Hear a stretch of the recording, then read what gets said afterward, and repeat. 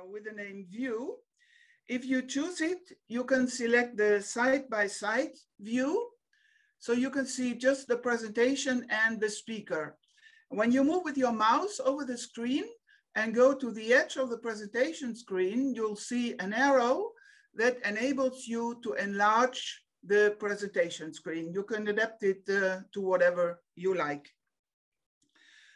Um, uh, so I already told you during the break, uh, the coffee break and the lunch break, there will be breakout rooms and you will find uh, um, the symbol of the breakout rooms in the menu bar below your screen, but only after they have been opened. So there is nothing to see now, but if you look, have a look, um, by the start of the break, you will find the, the breakout rooms there.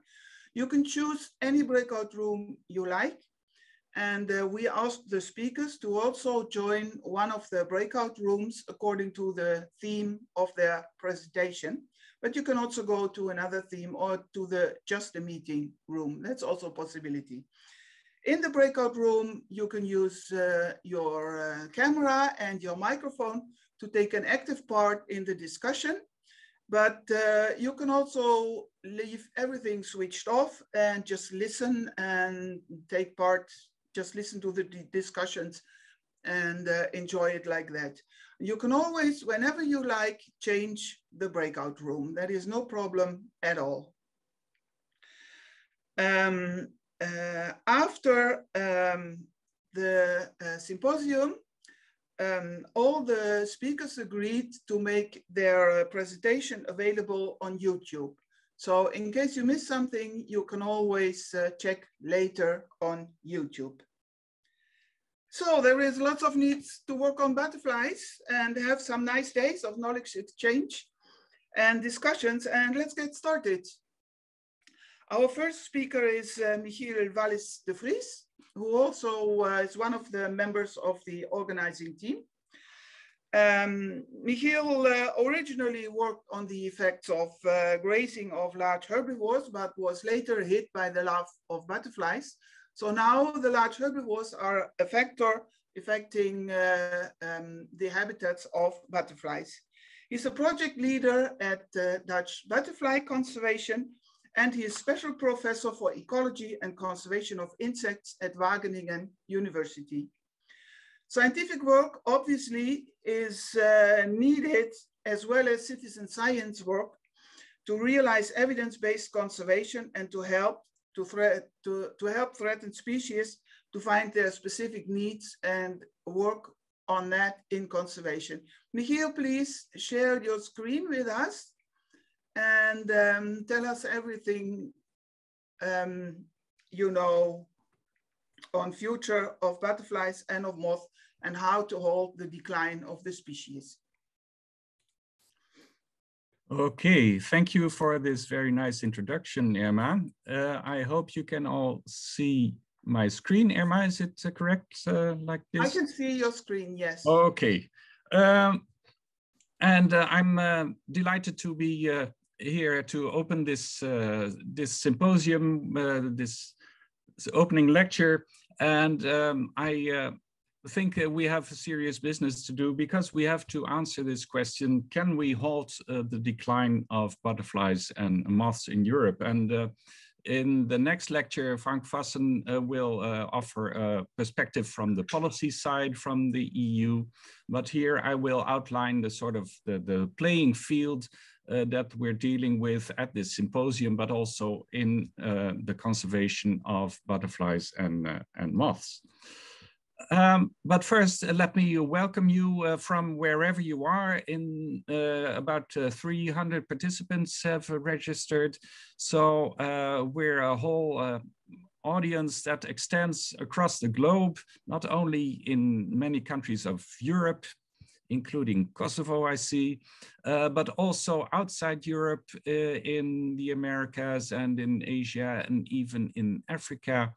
Um, and uh, I would like to extend the welcome to Matt Forister, who will deliver uh, a very, uh, for him, a very late night uh, presentation tomorrow morning from the US and offer an American perspective on the future of butterflies. So looking uh, forward to that as well. Okay. Um, so uh, since our last symposium uh, here in uh, Wageningen in 2016, the world has uh, changed uh, quite a bit in many respects, of course, but one of the aspects was that insect declines were suddenly in the, in the spotlights. From a butterfly conservation point of view, of course, we had already pointing out pointing at declines for a much longer period, but suddenly also the media took up the message and it was a big discussion in, in politics as well, insect Armageddon and, and what should we do about it. Uh, well, this was evidence from uh, uh, a lot of German uh, uh, sites in northern Germany, but then the question was also raised, uh, do these declines occur elsewhere as well?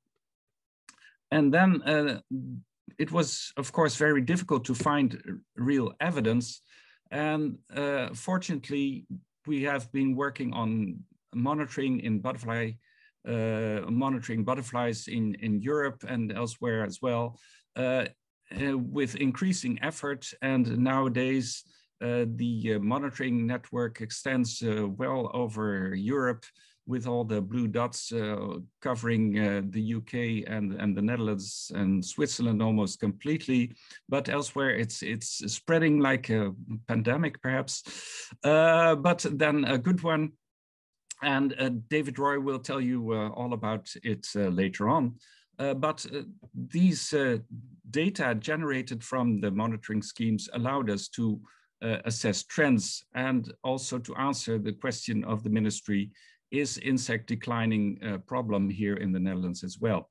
Well, unfortunately, it is because we see that butterflies have declined uh, about 50% since 1992. So perhaps not 75%, but already a very serious uh, decline. Uh, and these declines have, have been documented thanks to our nationwide monitoring scheme. Well, that's of course the first step in, in assessing how butterflies are doing. And uh, fortunately, with moths, we have increasing evidence for that as well. Our uh, monitoring scheme in the Netherlands is only young, but in the UK, uh, there's data from uh, much further back. And these also point to uh, declines, about a third uh, of decline in, in abundance over a period of 50 years in the whole of the UK and uh, about a 40% decline in southern Britain alone. So also serious declines over there. And it is, uh, of course, uh, true that these declines have not, not started recently. It's been uh, a much greater period of land use uh, change that is affecting our butterfly and moth communities but the data, of course, are uh, very rare to assess these changes. Fortunately, with the Dutch uh, butterfly data, we've been able to uh, at least assess not changes in abundance over a century, but changes in, in occurrence. And uh, these point to very serious declines of uh, two thirds of decline in butterfly occurrence before 1990. And when you combine this with the halving of butterfly abundance since 1990, then you arrive at an overall decline uh, that exceeds 80% and rather approaches 90% even over whole century. So it's really serious. And then the next question is, of course, uh, before starting to be able to do anything about it. What are the drivers of these declines? And we now have the time for a little poll, and I hope it all works. And you can select the top three of the most important uh, threats uh, that you think are playing a role. Um, and uh, so I hope everybody is filling this in.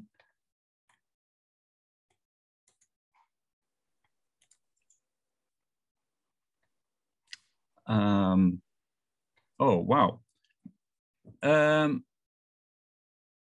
oh, there's well, 51 votes. Uh, maybe uh, it's not not the end uh, of it, but uh, certainly agricultural intensification is a um, big one, and uh, climate change, abandonment, nitrogen deposition also play a big role. Okay, we'll see. Uh, we'll repeat this survey later on and see if your opinions have have changed.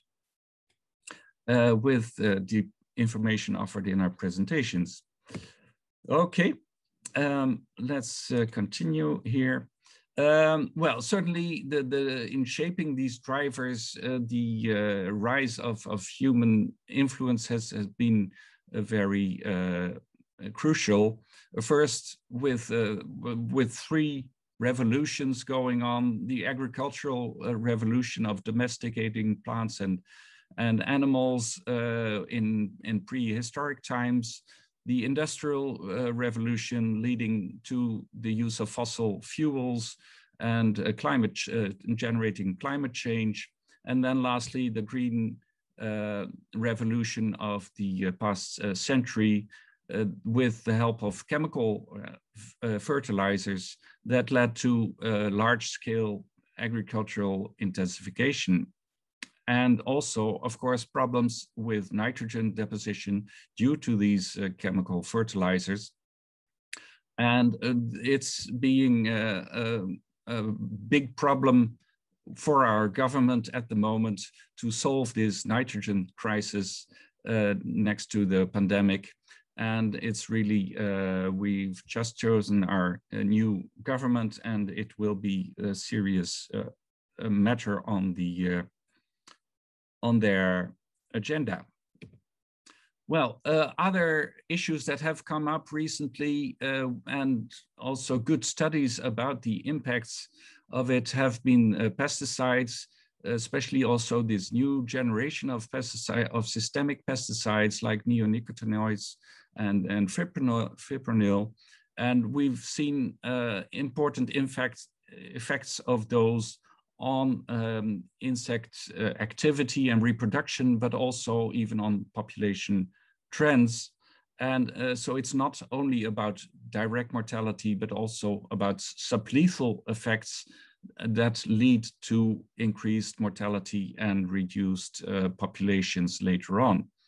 And unfortunately, this has led to political action as well with uh, an EU-wide uh, ban of neonicotinoids, but these are still working in the environments because they're quite persistent in soil and water. Another issue that's been coming up is the impact of light pollution. Uh, it looks very nice to to see uh, this uh, the Earth from the skies and and see all the the light dots. But for moths, it's really uh, a big problem um, and a problem that's being gradually investigated. And uh, Thomas Merckx in his lecture will probably shed more light on it even.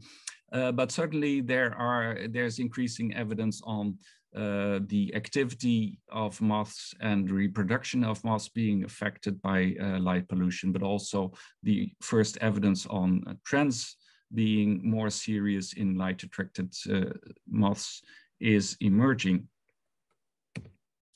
Well, uh, how can we get a, a grip on uh, on the, those drivers? Well, uh, one of the possibilities is to use uh, uh, indicator groups of different butterfly and, and moth species. And here I've distinguished widespread species, a group of 24 widespread species um, occurring across the country and species that are more restricted to semi-natural habitats, so more to our protected areas. And you see quite a, a difference between the two. The widespread species are gradually declining um, and showing the, the well, increasing deterioration of our, especially our farmlands, but also our urban habitats. Whereas the species from semi-natural areas uh, show rather some variation in the trend with a very serious decline early on, but then a stabilization and even a, a move towards recovery uh, later on.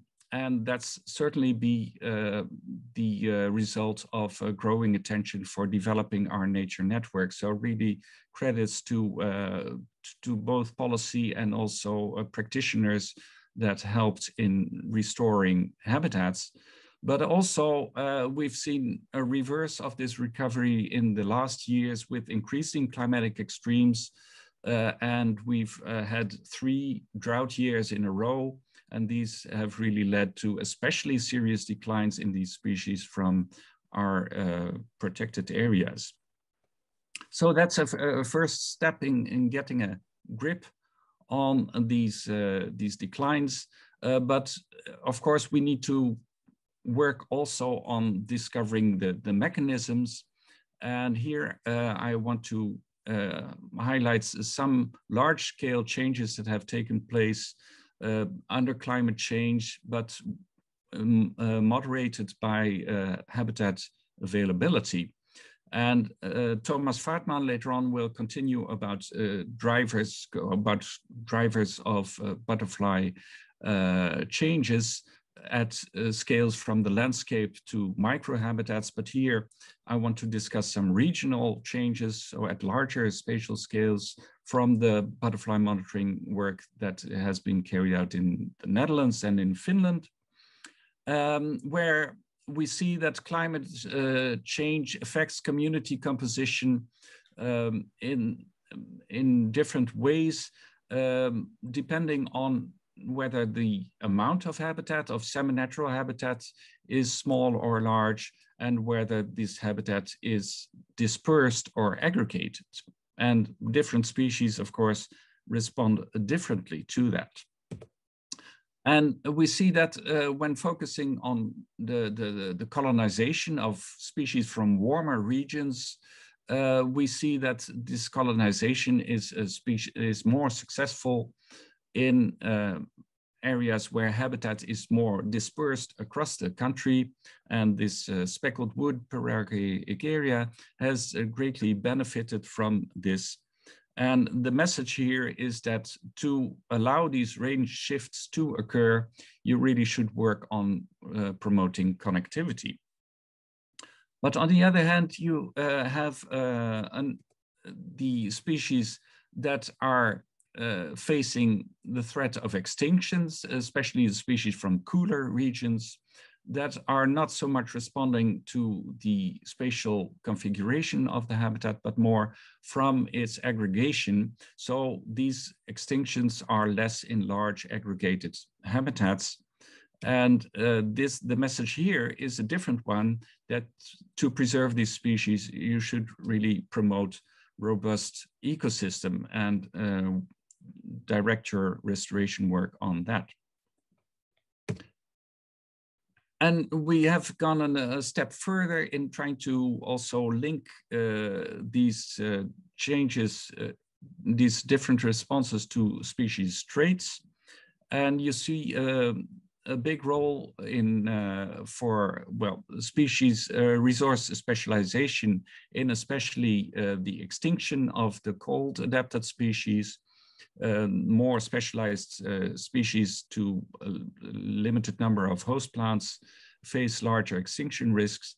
But across these uh, warm and cold adapted uh, species, you see an important role of mobility and, and generation time with uh, greater colonization success uh, for mobile species for uh, in, in in the warm adapted species, but also greater extinction risks in sedentary species that are cold adapted.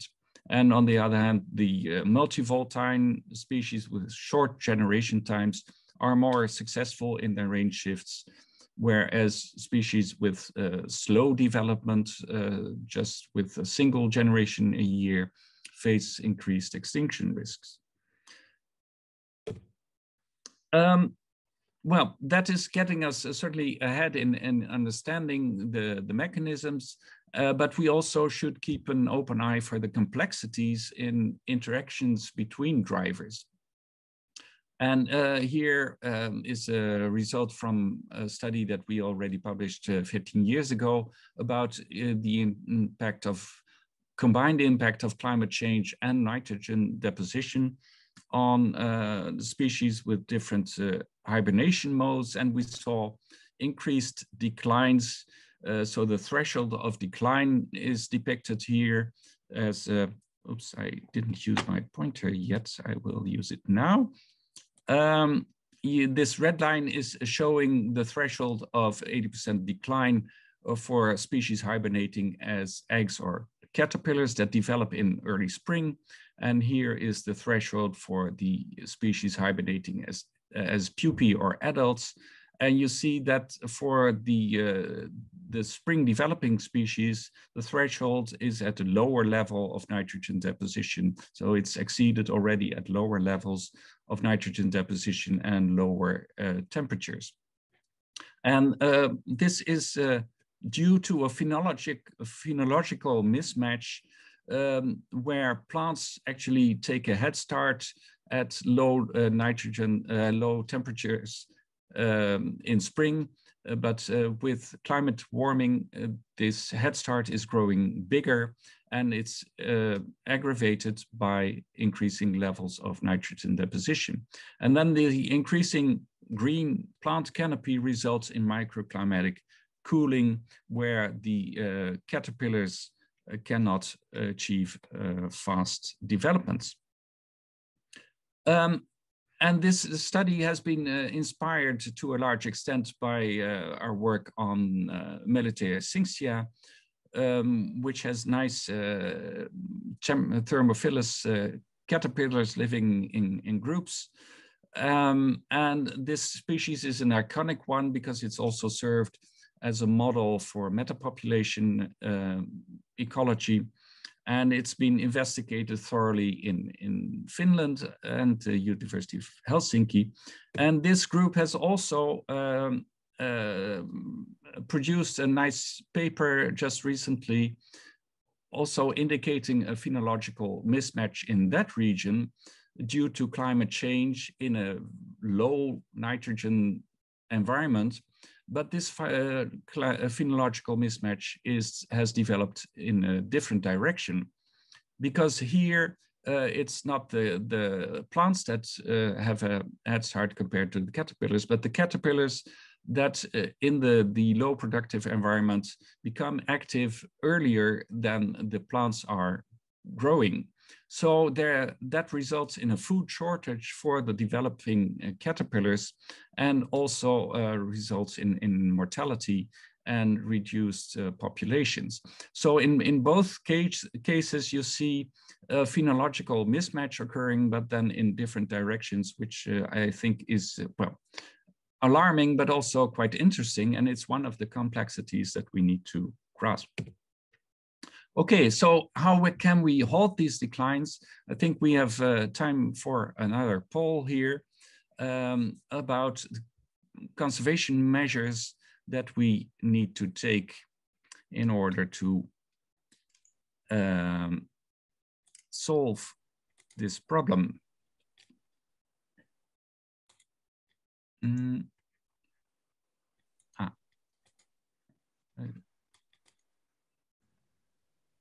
Oh, I don't think the ah, the poll should be opened. Well, it doesn't seem to work. Ah, okay. Ah, there we yes. go. There we go.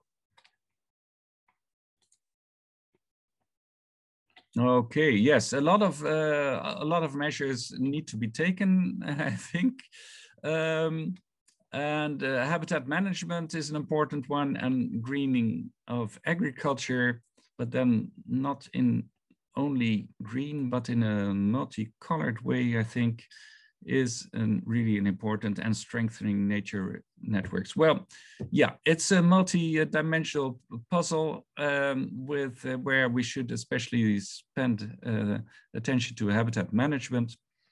Um, and we'll see also whether you have changed your opinions later on. Uh, certainly, we are seeming to need a really uh, a fourth revolution as uh, humanity to develop uh, a more ecologically sound way to deal with our environment. And I suggest that we uh, uh adopt, all of us, perhaps a Lepidopteran perspective on the Anthropocene. Um, uh, the, the, Roger Dennis and Tim Shreeve and Hans Van Dyck developed this resource-based habitat concept that still is serving us well and that will also be at the heart of many studies that are will be discussed here. And I think it's also a nice way for humanity to go on. Um, work evidence-based, that's also good advice. Engage society, uh, not only in monitoring, but also in, uh, in raising awareness and be motivated by natural diversity. And uh, so I hope this will offer a source of inspiration uh, in your work, but also when going outdoors and counting butterflies and moths. And I hope these uh, items will continue to inspire you. And of course, during the lectures, we'll uh, also um, be spending attention to those themes where engaging society will be discussed also by uh, Jacqueline Loos tomorrow with us on the social ecological perspectives using butterflies.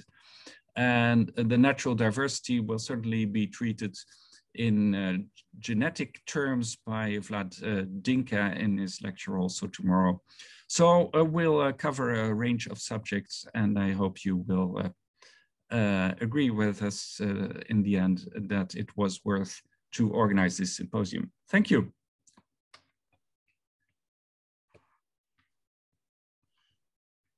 Michiel, thank you very much for your presentation. Um, there is uh, one question coming in. It's about the, um, the poll the threats in the poll are highly related. Nitrogen deposition and exposure to biocides are consequences of intensification of agriculture. In a sense, abandonment as well as extensive agriculture is becoming unprofitable. And even tourism is increasing in nature as large parts of the landscapes are changed into ugly agro industry. How do you see a way out of this? Well, I think this uh, resource-based uh, habitat concept can actually help us because we need to focus on uh, on what resources are available to us and uh, can continue to be available for us without us depleting them. And uh, of course, our present uh, way of, of land use is highly dependent on a continuous uh, use of, uh, well, fossil fuels, but also uh, chemical uh, fertilizers. And we see that these resources are not, not endless. So we need to develop a way of um, well, really sustainable land use. That's been uh, uh, a topic for quite some time, but now we should really put it into practice and not only discuss it. Thank you. It's also uh, uh, inspiring that in one way uh, uh actions are needed at political level, top-down actions from governments, but um, the most needed action for the butterflies is uh, making sure that habitat management, so the very large scale, is adapted to their needs. So that is really an interesting conflict that we have to discuss more about. Thank you, Michiel. I would like to move on to our next speaker. And uh, our next speaker is uh, Frank Vassen, who is a policy officer at DG Environment with close connections to European Commission.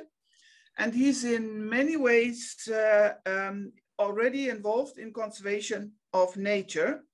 After all, the full implementation of the EU nature legislation to protect the biodiversity is essential and the organizations working in the field, so the NGOs and the, the owners of nature areas, really need the support of the policy level in Brussels.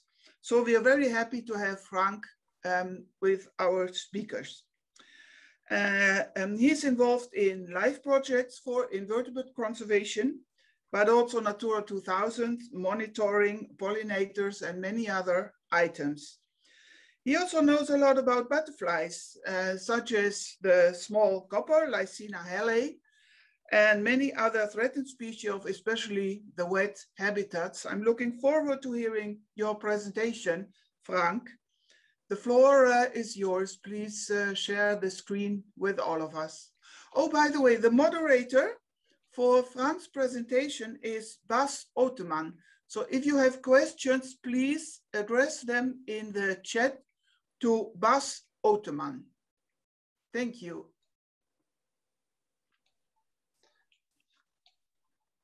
Thank you, Irma. Good morning, ladies and gentlemen. I hope you can see the presentation fully. Um, yes, I, I cannot start this presentation without giving a reminder of uh, the European Habitats Directive, which is still our cornerstone in terms of nature conservation policy at European Union level. The Habitats Directive is dating from 1992. It's a very old piece of legislation. It's one of the first environmental pieces of legislation, together with the EU Birds Directive, which is even older. And it has recently undergone a fitness check, uh, a check basically to see whether it's still fit for purpose. And uh, that check generated a huge uh, reaction from the public. A big public consultation took place and the overwhelming conclusion was that uh, despite being a rather old piece of legislation, it shouldn't be changed. So it's still fit for purpose. And that was also the overwhelming conclusion of the Council and the European Parliament and other European institutions. So in the end, uh, despite its rather big, I mean, long-standing uh, age, it's, it's, it's not going to be changed soon. And uh, it's perhaps important to remind a few key elements of the directive. Well, first of all, it is focused on certain habitats and species which are listed in its annexes. And for all of those, it aims at the achievement of favorable conservation status. So favorable conservation status is defined in terms of the range, in terms of the quality of habitat, population size, etc. There's a whole range of parameters which together define whether a species or a habitat has achieved favorable conservation status. And this is then measured in the terms of distance to target. Huh? The, the, the, further away we are from that ideal status, the worse the conservation status is uh, considered or assessed. Um, the main mechanism of the directives, uh, both the Birds and Habitats Directive, is the establishment of a network of protected areas that is called collectively Natura 2000. And uh, as many of you know, uh, setting up that network was a rather difficult and painful process um, with a lot of tension. Um, the network uh, is now largely considered to be completed on land, which means that the most important occurrences of all the species and habitats are now in the network, at least on land, not at the marine area. Uh, it covers 18% of the EU land area and about 9% of the sea area. These figures are, however, pre-Brexit. And in fact, the reality is that we are slightly above 18% for the land area. Uh, now, the, the, the, philosophy of Natura 2000 is that you establish a network of the most important sites for a given species or habitat and uh, that these sites are a bit the, the safeguard of the biodiversity in Europe uh, for these species and habitats. Frank, Frank, may I interrupt you uh, uh, for a while? I see on my screen that there are some gray shaded areas in your presentation. Yeah, I. I is don't it better know. now? Um, yeah, that is better. Okay. You please make the, the, the one at the top also a bit smaller? I'm not sure I can do it. I'm afraid there is no function to get rid of it. Oh, okay, so then we leave it like that. I think we can. Yeah, unfortunately, we have to live with it. I. Okay. Thank you. I don't know. I can. Yeah, I cannot really get rid of it. I'm sorry.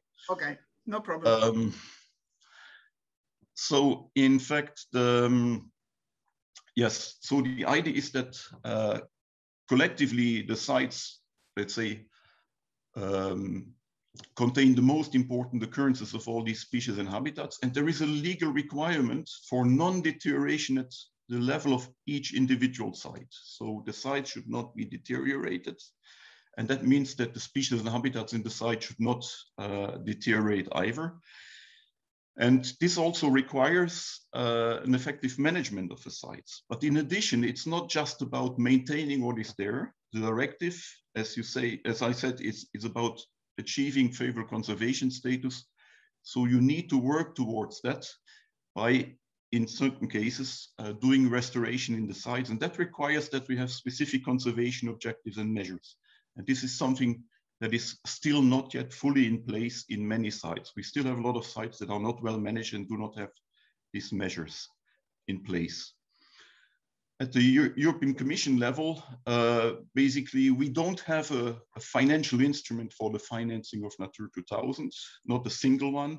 So uh, the approach is one of integration of the management costs and the, the, the, the financing of Natura 2000 and conservation in the whole range of EU financial instruments. We have the LIFE program, it's relatively small, but as you know, the bulk of the financing comes from the agricultural funding and uh, in the case of restoration, even from some other EU funds. And then the, there is a reporting requirement for each of the member states. So every six years they report on the status and trends of all the species and habitats. And that is basically our main information source in terms of progress or not of uh, implementation of the directives. So I'm trying to switch to the next slide. Yes. Uh, so this is just a reminder. This is the Natura 2000 network as it stands now. And as I said, it is considered to be complete, um, meaning that the most important occurrences of species and habitats are in the network. It covers so 20, almost 28,000 sites uh, in total. And this is another interesting element. So just to remind that the directive covers the protection of specific habitats, like these mountain hay meadows, these bog woodlands or these heathlands, but it also covers the protection of certain habitats of species. And this is the example that I'm giving here on the, on the right on bottom. Uh, so it's not just about these 231 habitat types, it's a lot about additional areas that are not classified as habitats, but that are important for these species. Uh, so, so sorry, Frank, um, I have to interrupt you again. Yeah. Um, the, your presentation is uh, stuck on the sheet EU Habitat Directives 2092. So oh, I am sorry, that's not the case in my screen. Yeah. Hmm. I'll try again. We see the beautiful picture of the marsh fritillary, and um, after that it stopped. Yeah. Now, now? I see four habitats uh, yep. sites. Okay, so I go to the next slide. Let me know if there is a problem. I only see your screen, your, yeah, if you put it back into present, yeah, thank you. Beautiful. Okay, it's a bit slow I, currently. Okay. So what are the conclusions of the latest reporting of uh, the state of nature? I only give those that are relevant for the grasslands and for the pollinators. Um, unfortunately, we don't have separate information for butterflies. But obviously, the overall trend is one of further decrease, uh, as was mentioned before. And uh, in the last six years, we had reported declines of area uh, by the member states in 30% of all the habitats. So there is still a loss of habitat area that is ongoing. And this loss, unfortunately, it's bigger for grasslands and for dune habitats. 45% uh, and 38% of the habitats are declining. So, and uh, in addition, and that is also nothing new to you, uh, the remaining grasslands are in poor status. Uh, and that is both due to land abandonment and natural succession uh, on one hand, and agricultural intensification and excessive fertilization and other let's say, intensification linked factors on the other hand. And I was struck by the, the first poll, where, which was very much on the intensification side and less on the land abandonment side. But at the EU level as a whole, land abandonment plays quite an important role, including in protected areas. If we look at the pollinator relevant habitats in particular, and we have now data on what are the most important grassland habitats, uh, forest habitats, etc., for pollinators, we see that those that are the most important for pollinators are even declining worse than the others in the habitat group. And this is especially true for grasslands and sclerophyllous scrub. So we can say, we can conclude that in fact, the worst declines that we have at the EU level are very much linked to those habitats that are the most important for pollinators and butterflies.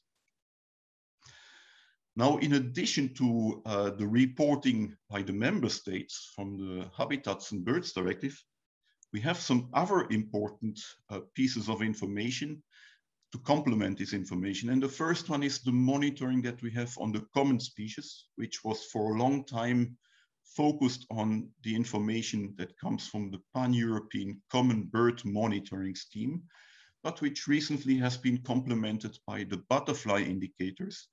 And as many of you know, uh, we have given some support in the frame of ABLE projects uh, to some of you uh, to further develop uh, the butterfly monitoring indicator. And as you can see here on the bottom, uh, well, the, the picture is not very good.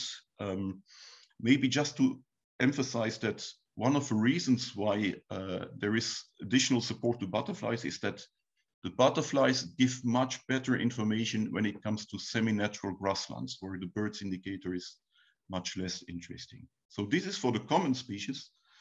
On the other hand, over the last 15 years, there has been a lot of progress also looking at the habitats and species and the threat stages that are not covered by the EU nature directive. So we looked at entire species groups and uh, did some European red listing with IUCN and other players.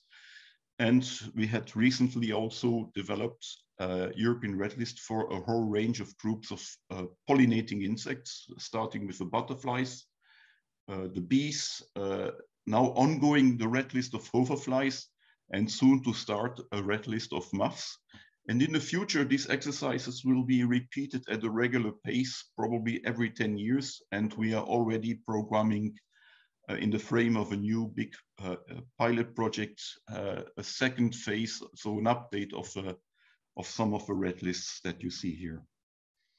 And this gives us, of course, a full picture of all the species and habitats that are uh, and the threat level in each of the, of the groups.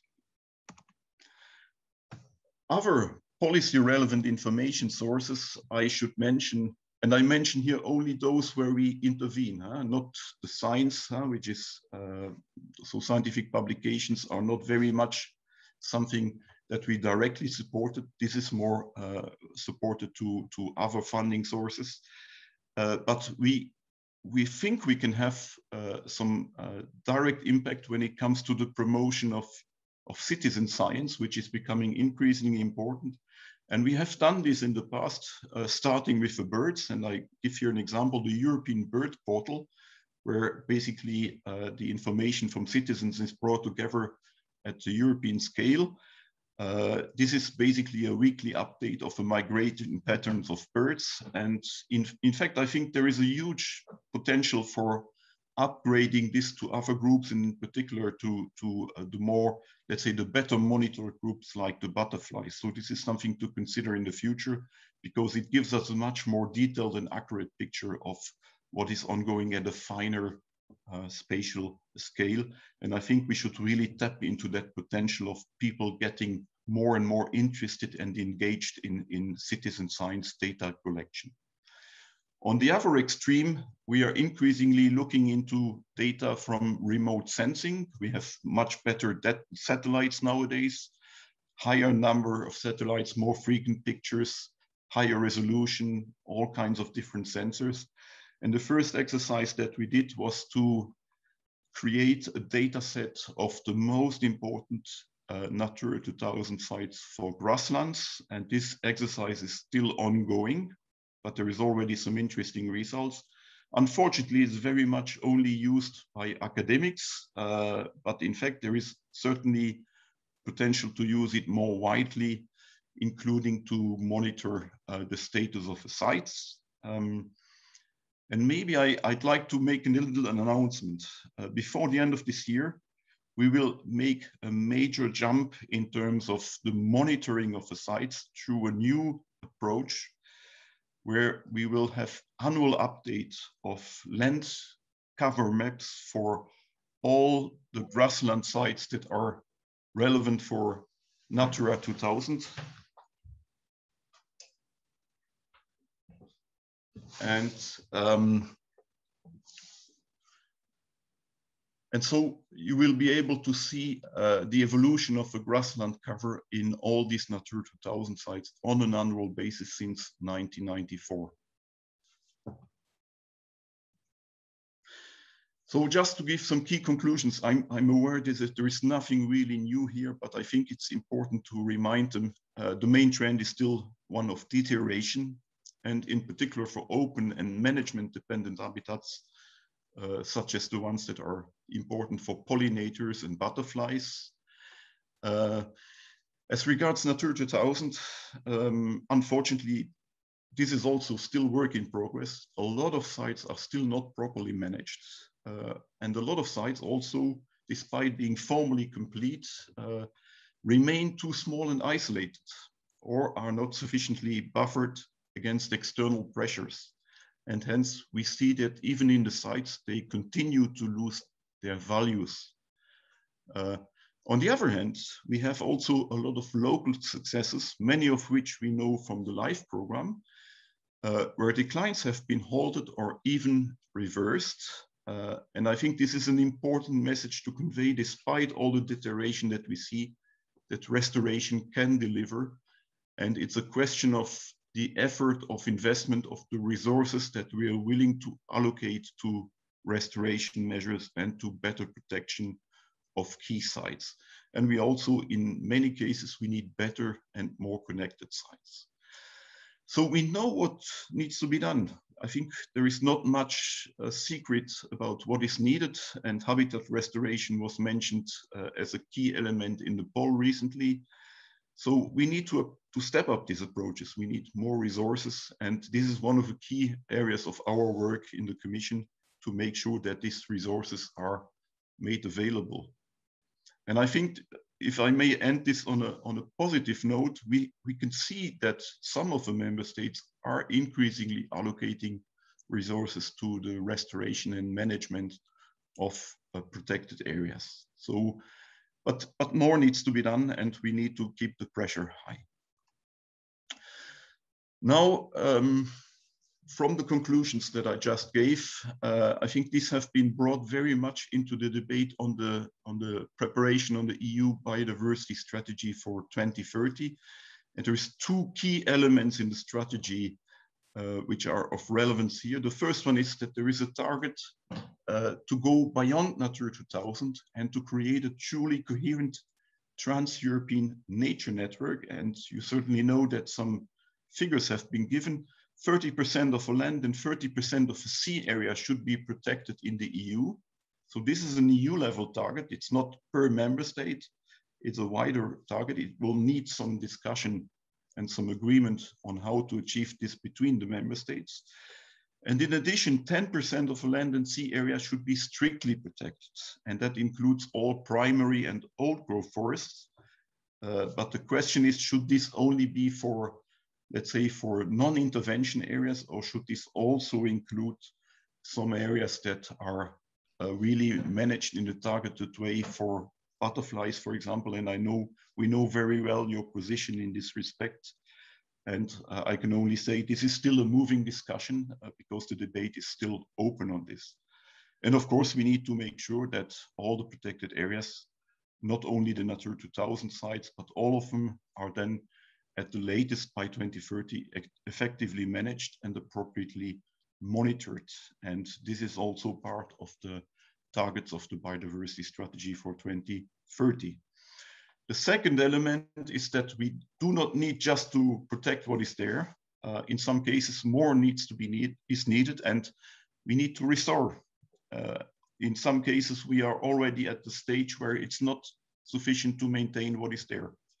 How is that going to happen? Well, first of all, um, we have a target that we have discussed for the last two years with the member states that uh, is very much based on uh, the logic of the, the nature directives, the Birds and Habitats Directive, and on its reporting, meaning that by 2030, there should be no further deterioration and at least 30% of all species and habitats uh, that are not yet in a good status should by that time, at least at the latest, show us a measurable positive uh, trend in their conservation status. And we have a, an entire process dedicated to this uh, to make sure that this will happen in the coming years, which is the biogeographic process. And uh, I'm quite sure that we will require your input, both when it comes to this 30% restoration target, but also to the, to the protected areas targets where we need some information on key areas to be protected and we are very much looking forward to a further collaboration with you uh, uh, on these targets.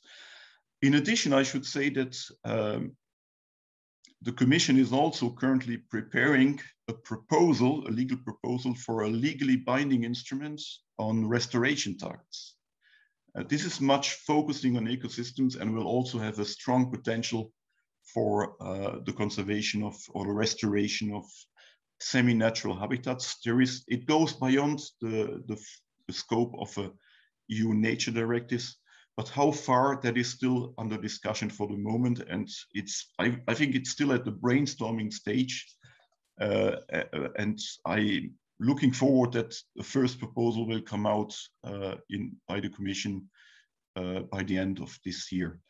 Then there are some specific targets uh, in the restoration plan on agricultural land, on pesticides, on having 10% of landscape features um, in the agricultural area. Um, these are very important when it comes to uh, the, the designation of the CAP strategic plan, so the financing of the CAP in the coming years. And we will see, we still need to see to what extent uh, these targets then will, we will able to take them on board, which is also a bit of political question between the Commission and the member states. We have a EU uh, strategy on pollinators, as you know.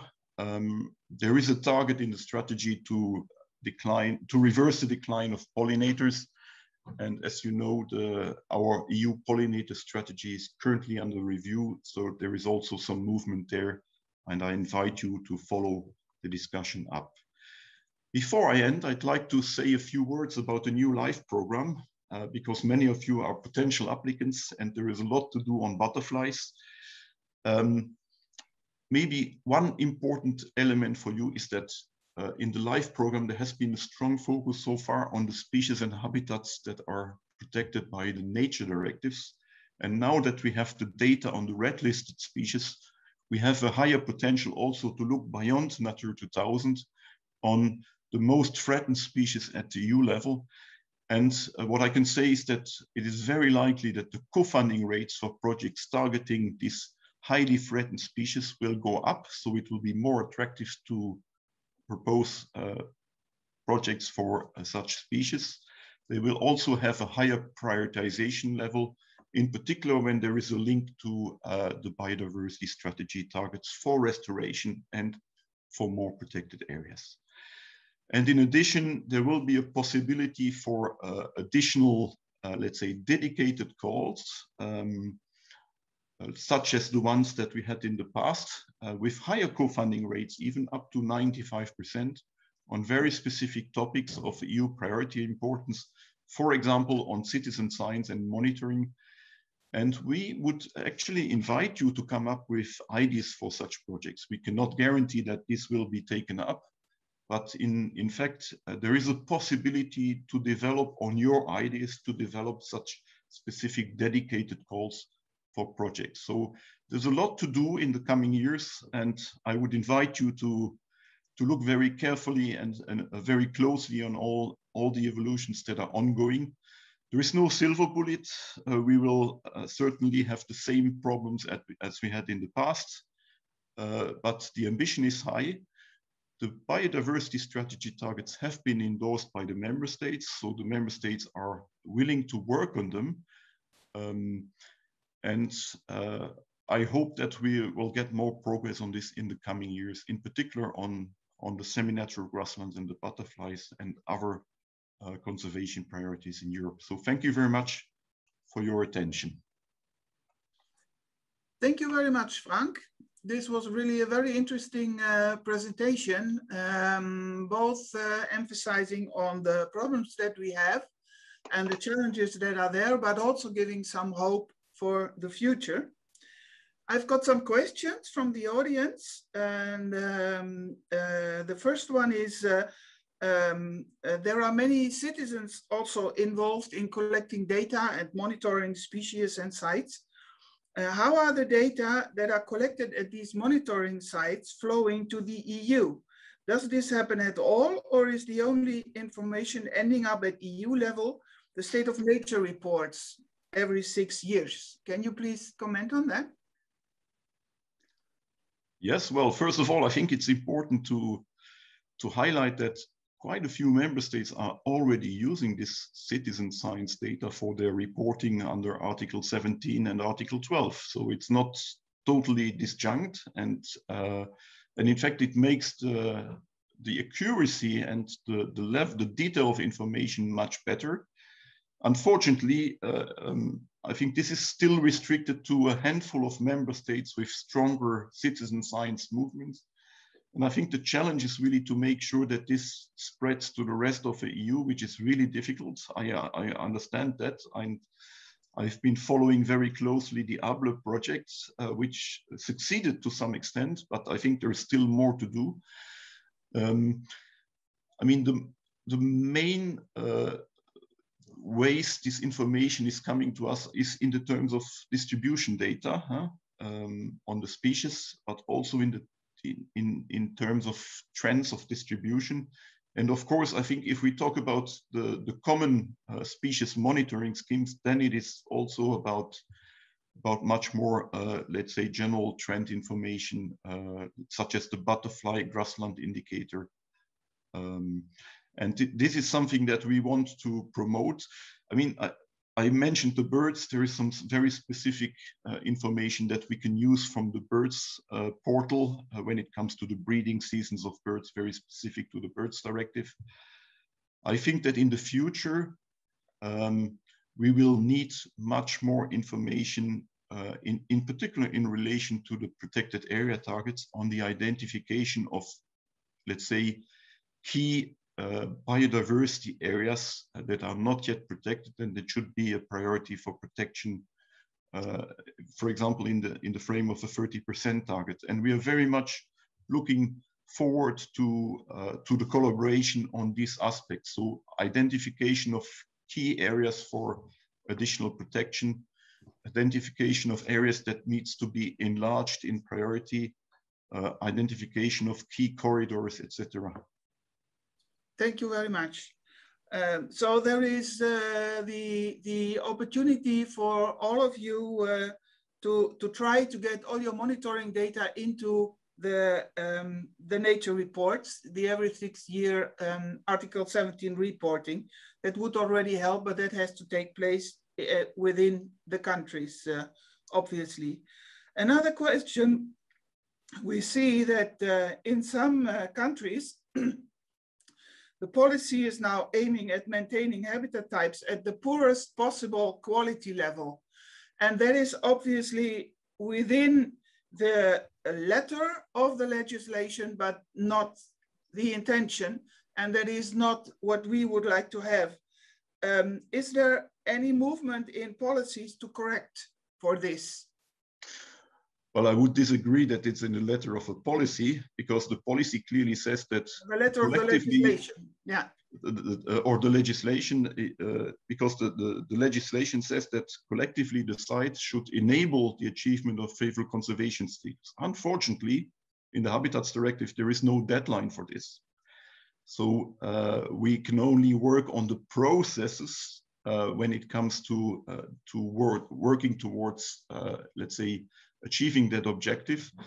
And this is very much about making sure that the sites are uh, appropriately managed. So there is uh, sufficient resources given to the staff, sufficient resources given to the work on restoration, and uh, and of course also, and this is uh, indeed a deficit uh, still in in quite a few member states in the EU, having clear objectives of what you want to achieve with a site and not just looking at the maintain, maintenance of a current bed uh, status at the local level. And, um, and in fact, we are currently, uh, we are in the course of launching a number of infringement cases where uh, member states are clearly deficient in that respect, where the conservation objectives are not sufficiently well defined.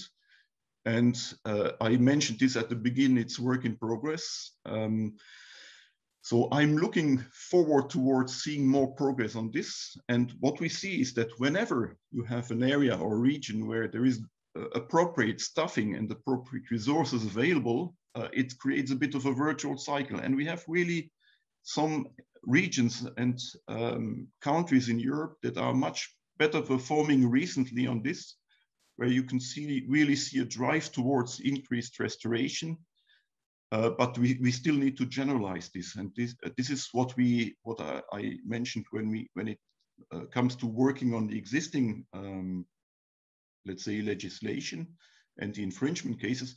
On the other hand, uh, I mentioned the legally binding instrument for restoration targets. Well, that's exactly the purpose of the of the instrument is that we create a deadline and recreate some pressure to, uh, to work towards an, uh, an active improvement, an active restoration of, uh, of the sites um, by basically, uh, yeah, creating legally binding obligations for restoration with a deadline. So this is the novelty of this instrument compared to the, to the current Habitats Directive. Ah, thank you. Yeah, there were also some remarks about uh, really uh, uh, realizing 30% within the restoration targets, which seems to be a dream for the future, and that we re really would like to, um, yeah, to get started working on that. And on the other hand, on um, whether the Habitat Directive will be suitable in long term given climate change. But uh, given the um, our time frame, um, I would like to push these questions to the breakout rooms, and I hope you will go into discussion about these questions later in the breakout rooms. So uh, now we move on to our next speaker. And Frank already gave uh, quite a nice uh, uh, bridge to that speaker because the next one is David Roy. He is the head of the Biological Center, uh, Record Center at CEH in England, in Wallingford um, the UK Centre for Ecology and Hydrology is deeply involved in uh, the UK butterfly monitoring. And uh, um, he was uh, an inspiring uh, project leader of the ABLE project. And in this ABLE project, the work has been done on all of Europe on monitoring. So uh, he really was very talented to get all us uh, stubborn and chaotic scientists to work together on productive results, which is really great. And I'm very much looking forward to, to see your presentation. Please, uh, David, the floor is yours. Thank you very much. Can you hear me okay and see the screen okay? Yes, I see the screen. Great. Well, thank you very much for that introduction and uh, good morning, everybody. It's a pleasure to be able to um, speak to you about butterfly monitoring and uh, thanks for those kind words. Um, it was a pleasure trying to organise everyone for the ABLE project and really grateful to everyone's support. So I'm going to talk a bit about an update on uh, some aspects. sorry, of... David. Uh, To start with a with a chaotic uh, scientist, uh, I forgot to mention that the one uh, um, who is doing the moderation of this uh, presentation is Chris Van Swaay. So please address all your questions to Chris Van Swaay. And another aspect is if you want to communicate about this meeting in social media, please use the hashtag future, future of butterflies, uh, all uh, in one word. Thank you. David, it's Thanks. up to you now again. well, Chris is the real expert on this topic, so he can answer lots of difficult questions.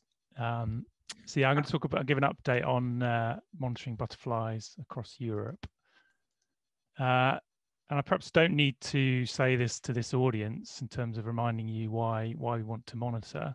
Monitoring is clearly one of our central tools for understanding the environment and how we manage resources, and to really unpick what's causing change, and then to direct how we how we make interventions in terms of policies, etc.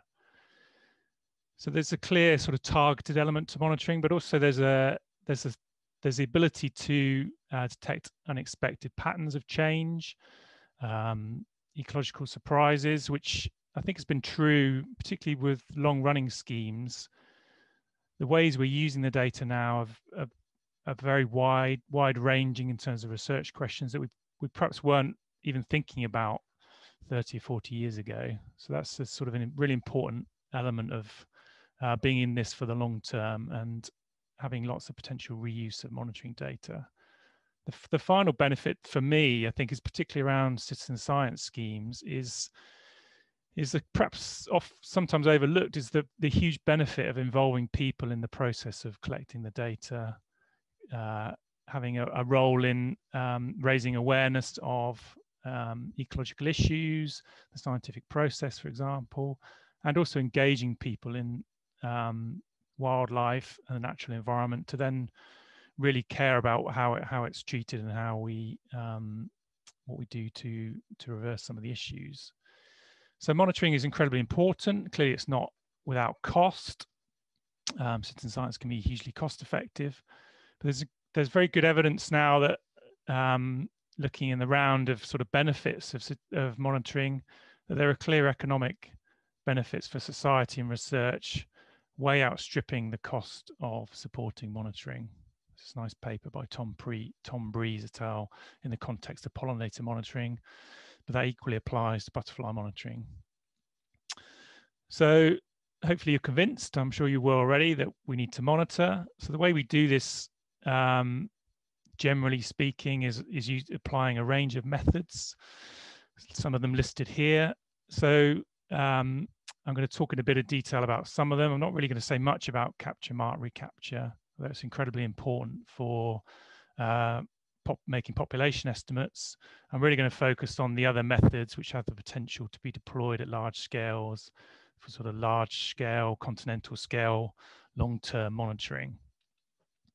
So opportunistic uh, sightings or biological records uh, have been, uh, the data go back centuries and and really growing rapidly in pop popularity. And the the sort of the main one of the main benefits of this sort of method is it really makes no, very little conditions on those taking part. It's just a, a record of what was seen at a place at a time and with some supplementary information about who recorded it and other information, for example. So it can involve lots of people, uh, increasingly popular with photographers who want to show off their fantastic pictures. Uh, so a lot of data, a lot of activity, a lot of people, but it really this sort of loose loose um, approach to monitoring. Eh, we end up with a data set that's a real mix of single sightings, um, some complete lists, a range of um, expertise and contributors. Um, so we have to sort of deal with that um, issue of heterogeneity in the data.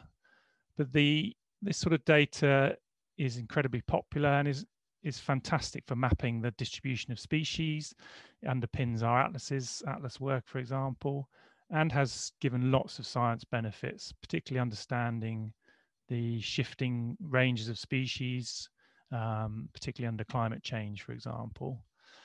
And there are methods to to unpick the um, heterogeneity and the biases in the data to begin to measure trends in occupancy from this data using occupancy models.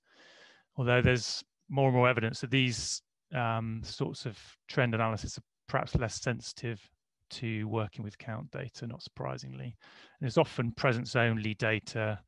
We can infer the absences or non-detections, but um, uh, that, that can be difficult in, in some senses.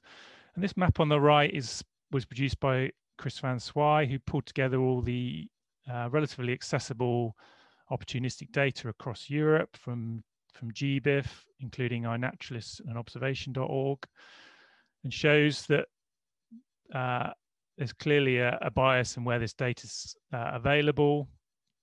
Um, familiar places in the north and west of Europe and other hotspots across Europe. And it's, it's likely there's more data within national systems that perhaps isn't available, but this is um, giving us coverage, reasonable good coverage across Europe, but with clear biases to certain areas. And if we look at how this is changing over time, um, again from Chris, shows that this the availability of data is, is increasing very rapidly. So although there's a there's often a lag in the last few years of data becoming available because it needs to be reviewed and then shared. Um, a couple of years ago was almost a million uh, records butterflies contributed through through these sources, and I suspect that's that will be even higher over the last two years. What we can also see is the growth in online systems that perhaps get data through the system quicker. So observation.org and iNaturalist are two, two examples given here. But there are other, I know there are other systems around Europe that are very active and being used. And I think these are going to increase in their popularity um, in the coming years. So the second uh, element of monitoring I want to talk about is, um, again, should be familiar to many of you, is, is butterfly transects. Here's early Ernie Pollard, who developed the first methods in um, the, the early 70s and the map of the Monks Wood transect that's now been running continuously since 1973.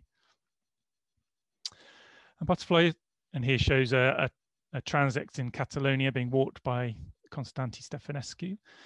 And butterfly transects are also relatively easy to do, certainly compared to other some other monitoring methods within suitable weather conditions, but asks much more of the uh, person doing the monitoring.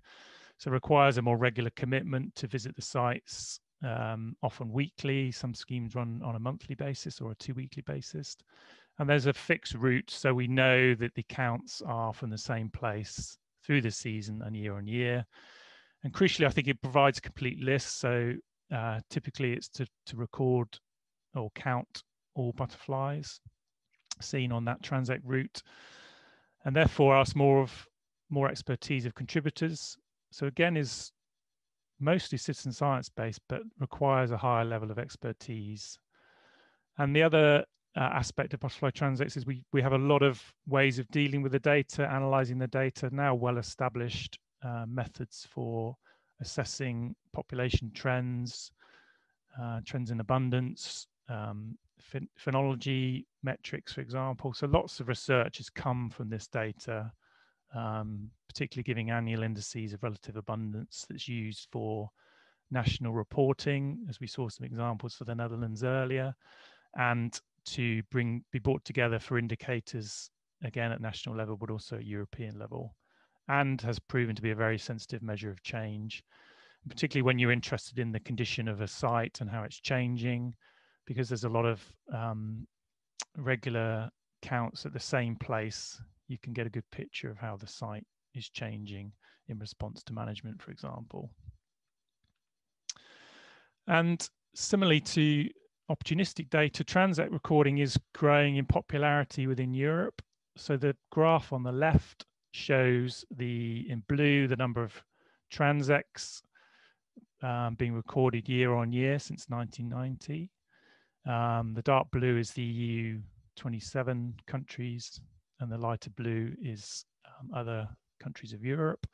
And the yellow inset figure shows the number of schemes uh, um, uh, operating, monitoring over the same time period. And again, we've seen an increase in the number of countries adopting the, this method um, across Europe. And the map on the right again shows sort of density of effort. In this this time a, a, map of the number of transects within regions, and we see a similar uh, bias towards north and north and western Europe in terms of adoption of butterfly monitoring schemes and transects, um, but also a very active scheme in in Switzerland and Catalonia being one of the early schemes and Finland and Sweden also having sort of well-established schemes. Uh, and Germany also um, now monitoring for more than 10 years. But this figure also shows that we are now starting to expand further through Europe. And as you can see, if you look on the Far East, there's a transect now running in, in uh, Cyprus for the last few years, for example, and schemes starting to be established elsewhere um, further south, such as Italy and Portugal.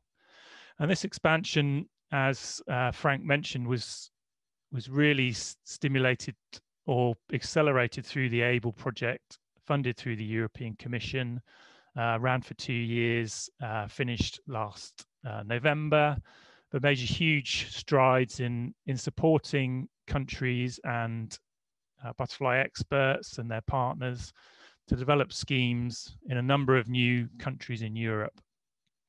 And ABLE really just provided the, the support in terms of guidance, um, shown here is a, a, nice identification guide to support recording, uh, which makes the method more accessible, um, and also providing tools to be able to capture the data and to analyze the data.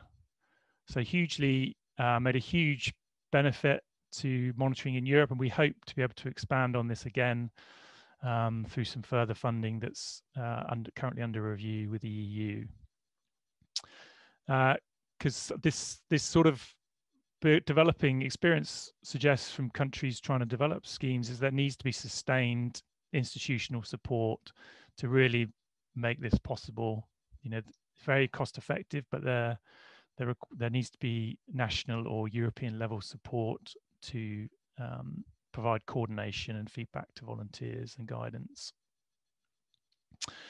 But the advantage of bringing together this data um, so we, the other thing we did under the ABLE project is to bring the data into a, a database under a partnership called the EBMS, the European Butterfly Monitoring Scheme Partnership.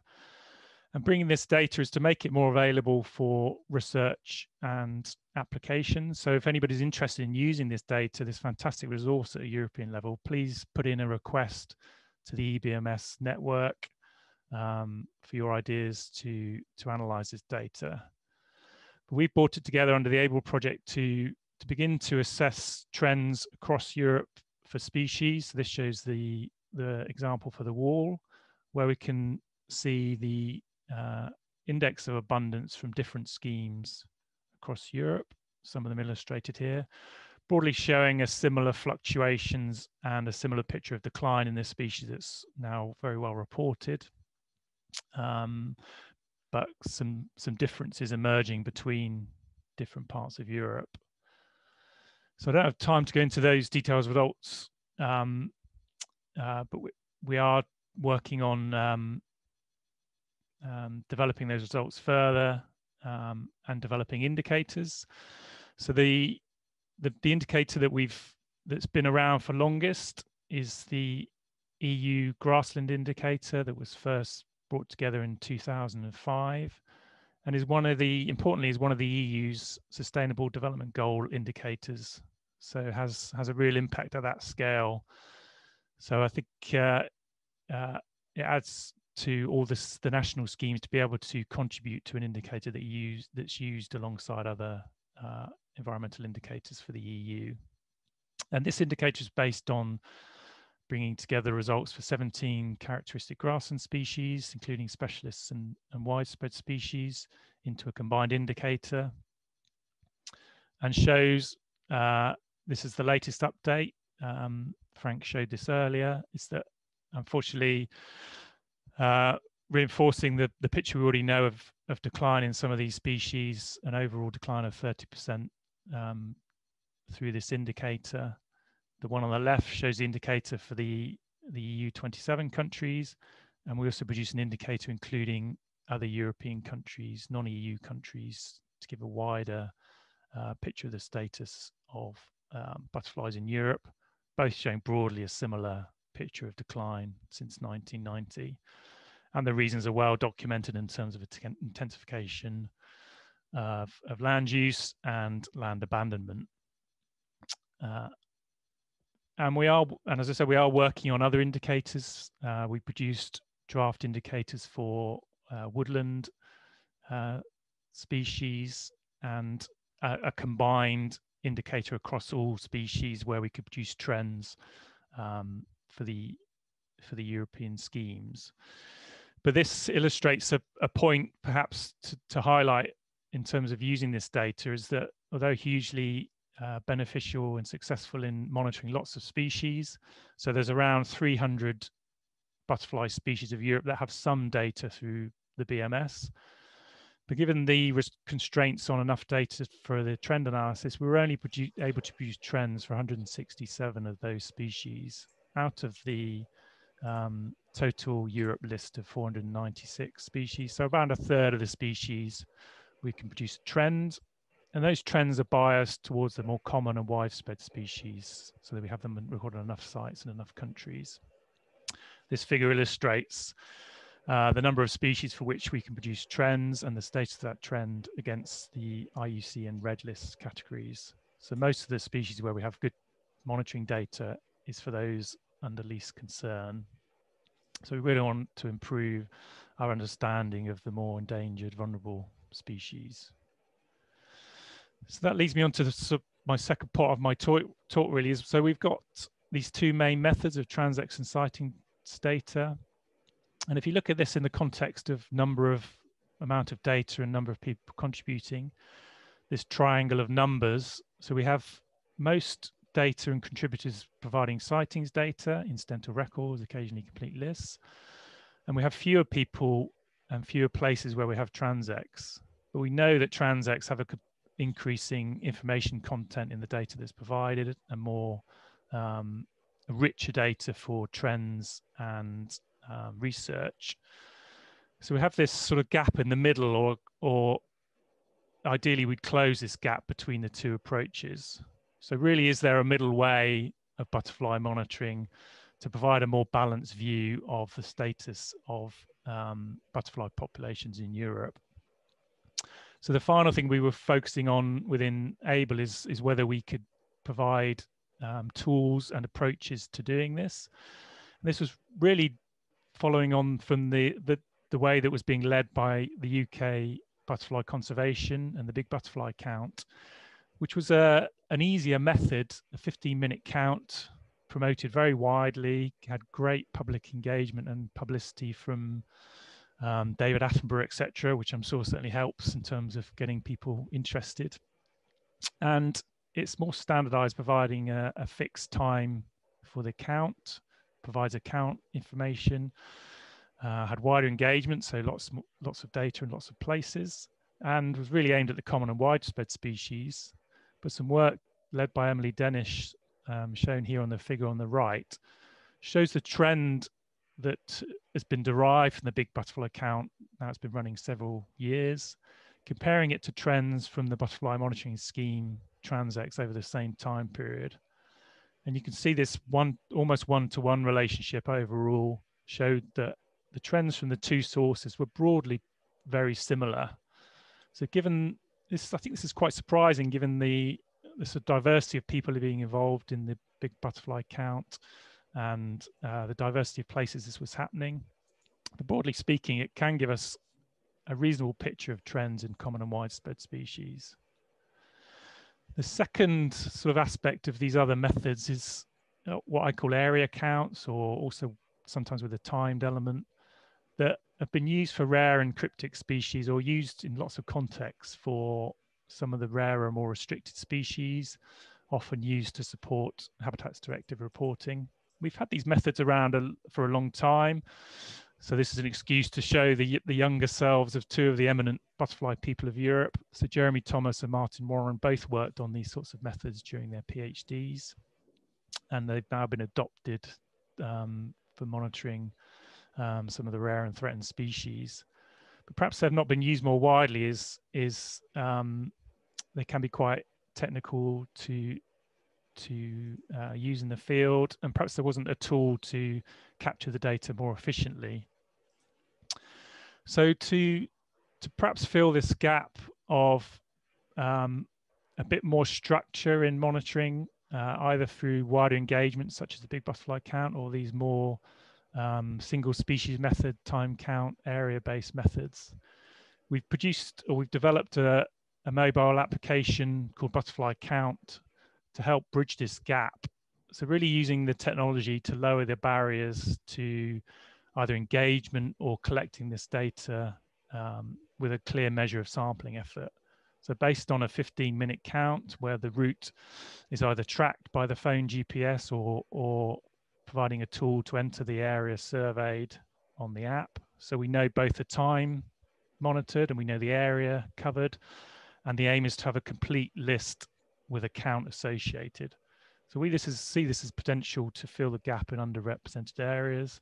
So urban and farmland where um, perhaps can sometimes be less interesting for volunteers, but having a simple and easy method. And also remote areas where people where it's not suitable for transects because it's not possible to to monitor regularly, and also some of our species that are undersampled in terms of rarer species.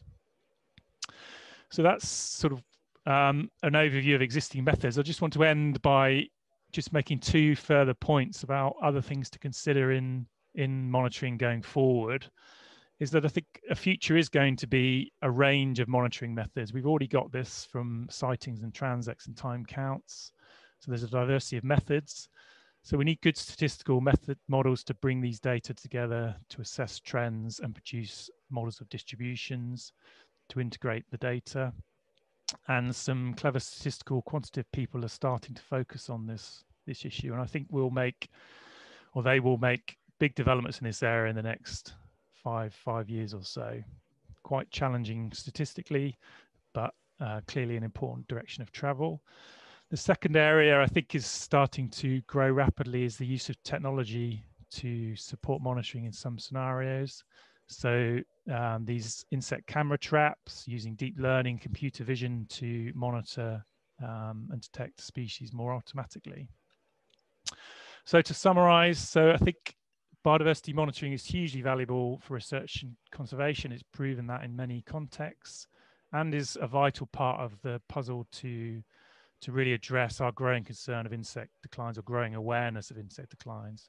Butterflies are one of the insect groups most feasible to monitor, well-developed proven methods, and will be really important for developing and delivering delivering the EU, EU pollinator initiative and EU pollinator monitoring, citizen science is hugely cost effective, but does need some support, um, but has the added benefit of engaging volunteers. This 15 minute count method we think is really important for bridging the gap between transects and sightings data. And the future will, I believe, will be a, a hybrid approach of professionals and volunteers, blend of methods and models to deal with the data and making increasing use, efficient use of technology. So I'd just like to thank um, all the butterfly coordinators and volunteers and those who've given us huge support for ABLE, the ABLE project, the ABLE team, the EU for funding ABLE, and particularly uh, Vlinderstichting for organizing this conference. And thank you for listening. Thank you very much, uh, David, for this uh, very interesting uh, uh presentation. Um, just uh, uh, going on, it's always really nice to see how this ABLE project is being uh, told to everyone that we can promote it everywhere and show that everyone really can participate in monitoring butterflies in Europe. A question about that. Is setting up butterfly monitoring schemes in more species-rich regions more complicated because of uh, more expertise, species knowledge, is needed for counting butterflies. Can you comment on that question, please? Uh, yes, yeah, it is can be challenging. Uh, so I think it is challenging, but it's been proven, I think, through through the experience in Catalonia and uh, new schemes in Italy, for example, which are covering some very diverse places, that it is possible. And I think, uh, but needs support in terms of training, guidance material um, to support contributors. And I think a good way to start is, you know, if, if, if people start early in the season, then you gain familiar fam, familiarity of species before the real diversity starts to um, yeah. um, occur through the season. So it is possible. It is challenging, but um, therefore clearly needs some support for volunteers. Yeah, thank you. And I would like to add that it is also really very rewarding if in the end you find out that you're really a helpful participant in a method where the results are really being used, even up to European policy. And that makes it really rewarding um, doing monitoring transect or 50 minute counts. Thank you very much. We're now uh, starting uh, the first uh, break. The first challenge on uh, moving to breakout rooms. We have uh, um, opened uh, several breakout rooms for several themes. Um, I would like to ask the speakers to find one with their theme and there continue the discussion about their presentation. And the other ones uh, will be just open for everyone. The symbol is now available. So you can just pick your breakout room and we will meet again over half an hour at 11.30 to go on with the presentation of Thomas Fartmann. Please enjoy the break and see you soon uh, later. grassland one habitat patch. It's a larger patch and this patch is still grazed by sheep. And we had another patch, it's smaller and it's an abandoned um, one with a lot of shrubs and uh, poorer habitat quality than this one. And between both patches, we have a matrix. Uh, often this matrix is uh, um, consists of arable fields. And here is another matrix. And that's how our landscapes look like. We have today, we have often fragmented landscapes where we have habitat patches of different size and different quality. And between them, we have a matrix uh, um, where it's quite hard for many of the butterfly species to um, live um, or even to, to move through these landscapes. Um, the key drivers of butterfly persistence in our fragmented landscapes are habitat quality, habitat size, and habitat connecti connectivity. During the last decades, there were several studies that showed that these three um, parameters are the main drivers of butterfly persistence, and all three have changed. Uh, usually, we have a loss of habitat quality in our patches due to, and uh, abandonment on the other hand.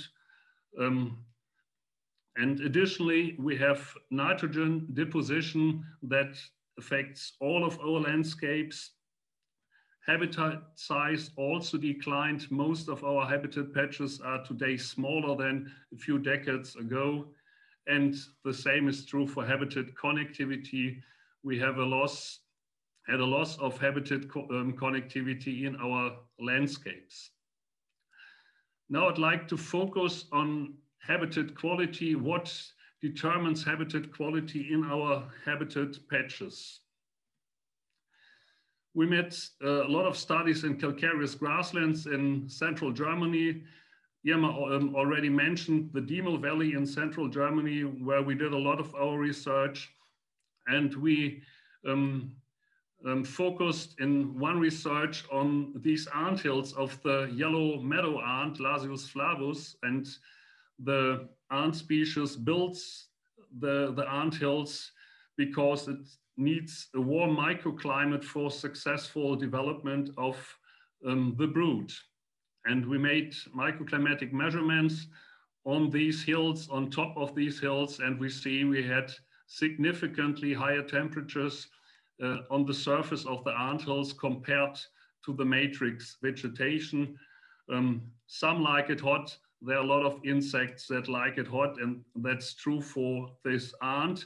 And it's also true for a lot of butterfly species. A warm microclimate um, is uh, of, uh, yeah, of high importance for a lot of butterfly species.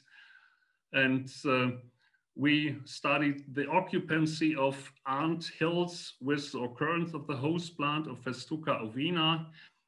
Um, and we compared this with the matrix vegetation and we observed a significantly higher occupancy on the ant hills compared to the matrix. Yeah, many butterfly species like it hot. Warm microclimates are of uh, crucial importance for a lot of our species. What's about um, plant species richness, plant uh, species diversity in our landscapes? Here we studied uh, again calcareous grasslands, but now in southern Germany, and we focused on habitat specialists. And we saw a clear relationship between the number of host plants on a patch and the number of habitat specialist butterflies in these calcareous grasslands. Yeah, if we have a lot of plant species, we usually have also a lot of butterfly species. And to get that uh, such uh, species rich habitats, uh, we need um, or plant species rich habitats, we need nutrient poor conditions and low land use intensity. Both are quite important for plant species richness in our habitats. Here we have an impression of such a calcareous grasslands during the flowering per period of Phyteuma orbiculare. Um, such grasslands are hotspots uh, not only for plant diversity, but also for butterfly diversity. Um, a thing um, um, where we have only a few studies is host plant quality. And today we heard a lot of things about nitrogen deposition and uh, fertilization of habitats. And we made a study with several butterfly and moth species, a fertilization experiment. And um, one species we focused on was Lycaena tityrus, uh, still widespread species across Europe, but a declining species, especially in, in central and, and uh, yeah, those, those western parts of uh, continental Europe. And uh, in our experiment, we saw a decreasing survival rate um, of the larvae with uh, nitrogen fertilization and already at 30 kilograms per hectare and year, we had a decrease in the survival rates and at higher fertilization um, quantities, uh, yeah, we had a some clearly much stronger effect of uh, negative effect of fertilization. So habitat quality also matters and most of our, our butterfly species are adapted to nutrient poor conditions for centuries, for, for, uh, for thousands of years, and uh, they are not able to cope with uh, too much nitrogen in their, within their food. Yeah, junk food is anything but healthy for this species, and it can be assumed that that's the same for a lot of species that were originally adapted to nutrient poor conditions. Let's talk about habitat size. Uh, um, what, what size is required by, by the species and this species, the Niobe fritillary Argynnis niobe, was formerly um, quite widespread species in Germany. It occurred in all German federal states uh, 100 years ago, ago. Today, there are only three strongholds in Germany. These are the East Frisian Islands, the southern spurs of the Black Forest, and the Bavarian Alps. Um, all populations here in Eastern Germany, especially in Brandenburg, um, have, be, have become extinct uh, during the last 20 years. And I will talk later, later on this, what are the reasons for the loss of uh, um, this species in these areas. But in the three hotspots, we have still strong populations and we conducted detailed studies on the East Frisian Islands and we detected that, that uh, all the gray dunes are potential larval habitats for the species. Um, they are characterized by a high cover of host plants of violets, Viola canina, and uh, um, then we had a look on all the islands in the southern North Sea, North Sea from the Netherlands to Denmark.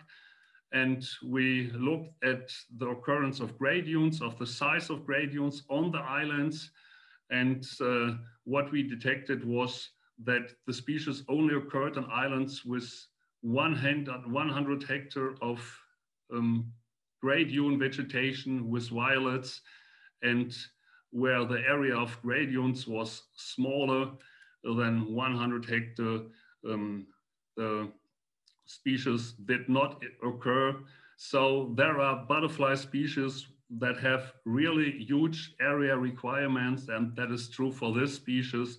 And when we see this, it becomes clear why the species is today so rare. 100 years ago, we had large areas of nutrient poor grassland rich in violets, and today um, there are only a few areas have remained. Here we see how these dunes may look like. We have a mosaic of gray dunes and brown dunes, and these areas are quite large um, on the occupied islands, and they're heterogeneous. And uh, the former populations in Eastern Germany that have become extinct, they occurred in relatively homogeneous um, sand, sand grasslands or um, heathlands. And very likely that was the reason why the species became extinct during the last 20 years, um, because these homogeneous habitats were more, were more affected by um, the drought events of the last years and uh, the host plants uh, desiccated in the whole habitat and um, here, heterogeneity is a quite good buffer against climatic extreme events. We have different aspects and uh, some violets. Uh, um, yeah, it is very likely that some violets um, survive even in relatively dry summers in these dunes. Um, we saw that um, the um, habitat patches are surrounded by a matrix and in Germany and in large parts of Central Europe, these, this, uh, the matrix often consists of arable land. In Germany, 36% of the land surface is covered by arable land. And we um, studied this butterfly also in central Germany in nutrient poor grasslands um, the woodland ringlet, Erebia medusa, and uh, grassland patches that were surrounded by a high cover of arable land. Uh, in these patches, um, the species rarely occurred, and uh, especially arable, uh, the matrix, um, arable land as the matrix has strong negative effects on butterflies um, with a higher mobility that uh, move from one patch to another patch and uh, yeah, species that are more restricted to the habitat patches, there we didn't see an effect of the arable land uh, in the surrounding, but in this more mobile species, there was a clear effect, negative effect of um, the matrix arable land. Climate change, we also heard a lot of things today on, on climate change and uh, we focused on winter climate and again, we made studies on the woodland ringlet.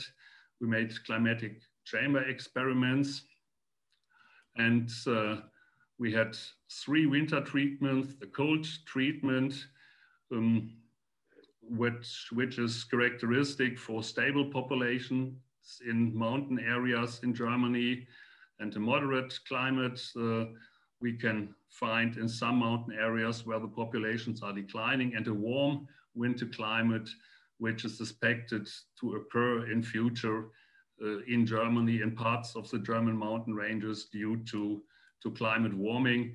And we see a clear negative effect of warmer winters for this species.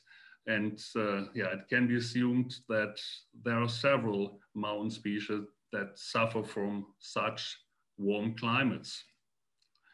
And another one um, that also suffers from um, global warming, from warm winters, is this species. It's the violet copper Lycaena helle. Um, here we conducted a study in, in Western Germany in the Eifel low mountain range. And uh, the habitats that were occupied, they were characterized during winter by cooler temperatures um, compared to unoccupied habitat patches. And that was true for during daytime and also during nighttime. And here we see it uh, during the, the whole day, um, how um, the temperatures differed. Um, this species is clearly adapted um, to areas where we have uh, cool conditions in winter. Cold air depressions are of um, high importance for this species. And uh, yeah, and um, so the species is clearly threatened by global warming. Cold winters are important for this species.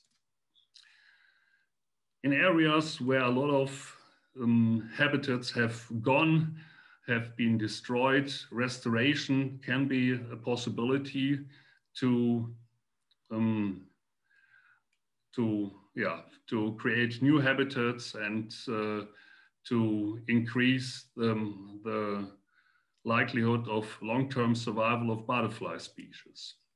This species, the blue spot hair streak, um, usually occurs in calcareous grasslands. And we compared um, formerly abandoned calcareous grasslands where the shrubs had been cut um, with regularly grazed pastures and abandoned calcareous grasslands. And we see that shrub cutting resulted in significantly higher um, plant density, host plant densities. The host plant is Rhamnus cathartica, a, um, a shrub.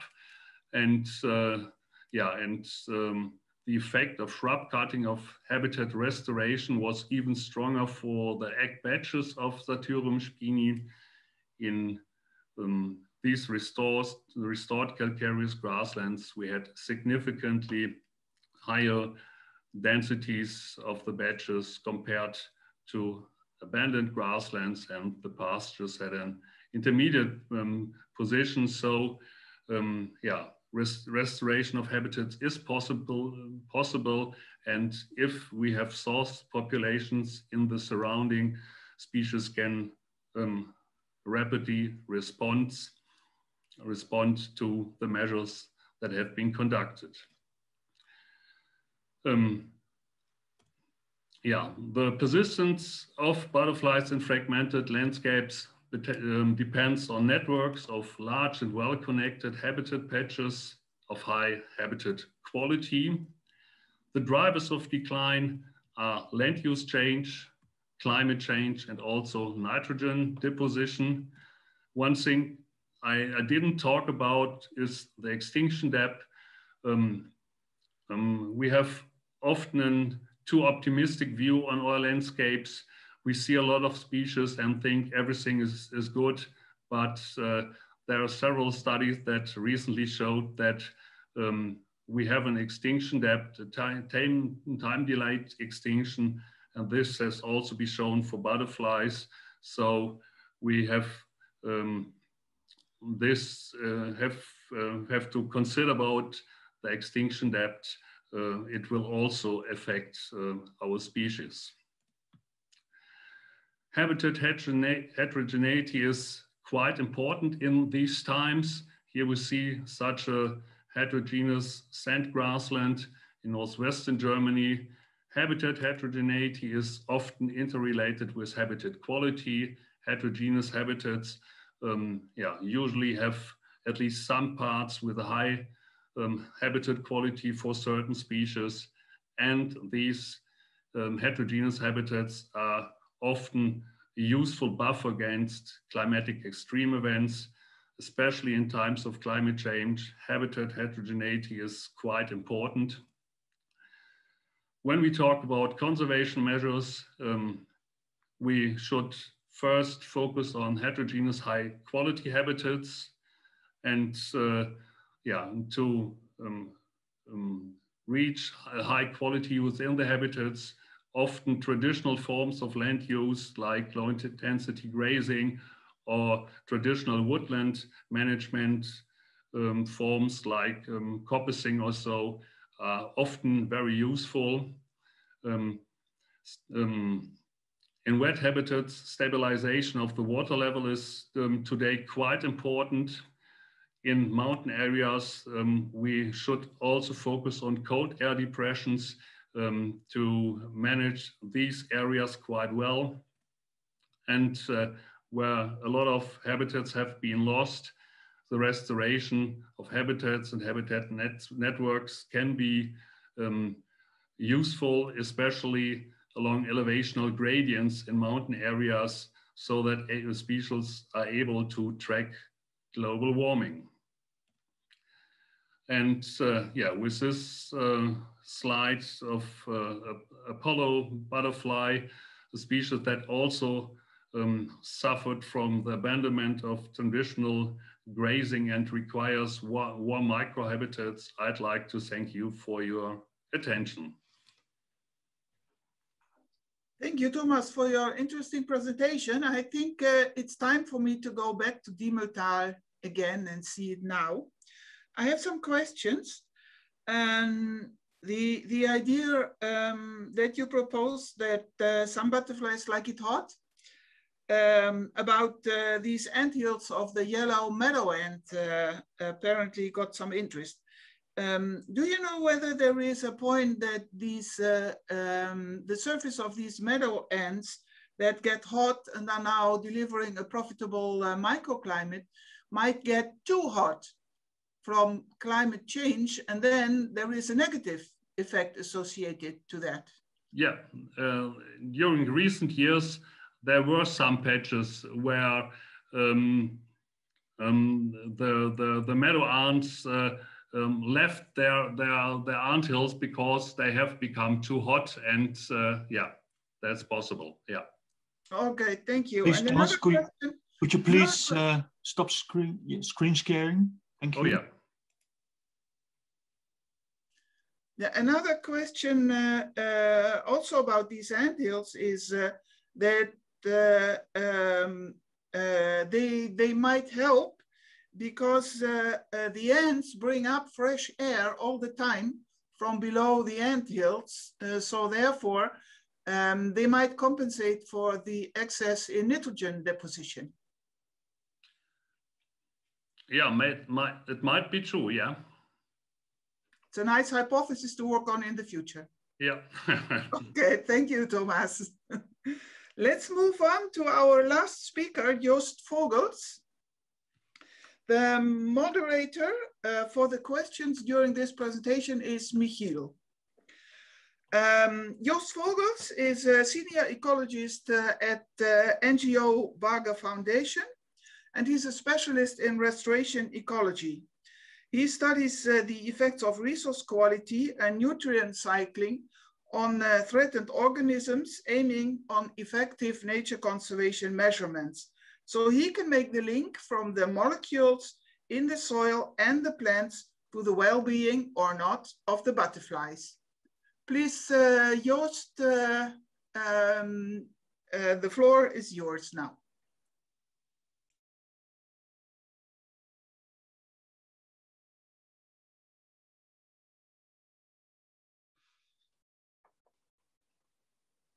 Jos, are you still? I have muted? to unmute myself. Sorry. Okay. Here I am. Um, thank you, Irma. Um, yeah, nitrogen deposition in butterflies. Um, I was asked to uh, uh, present my uh, uh, uh recent work on it. Um, I will try to give an overview. What do we know in general in in uh, in science, and what can we expect when this nitrogen deposition will alter nutrient quality of plants?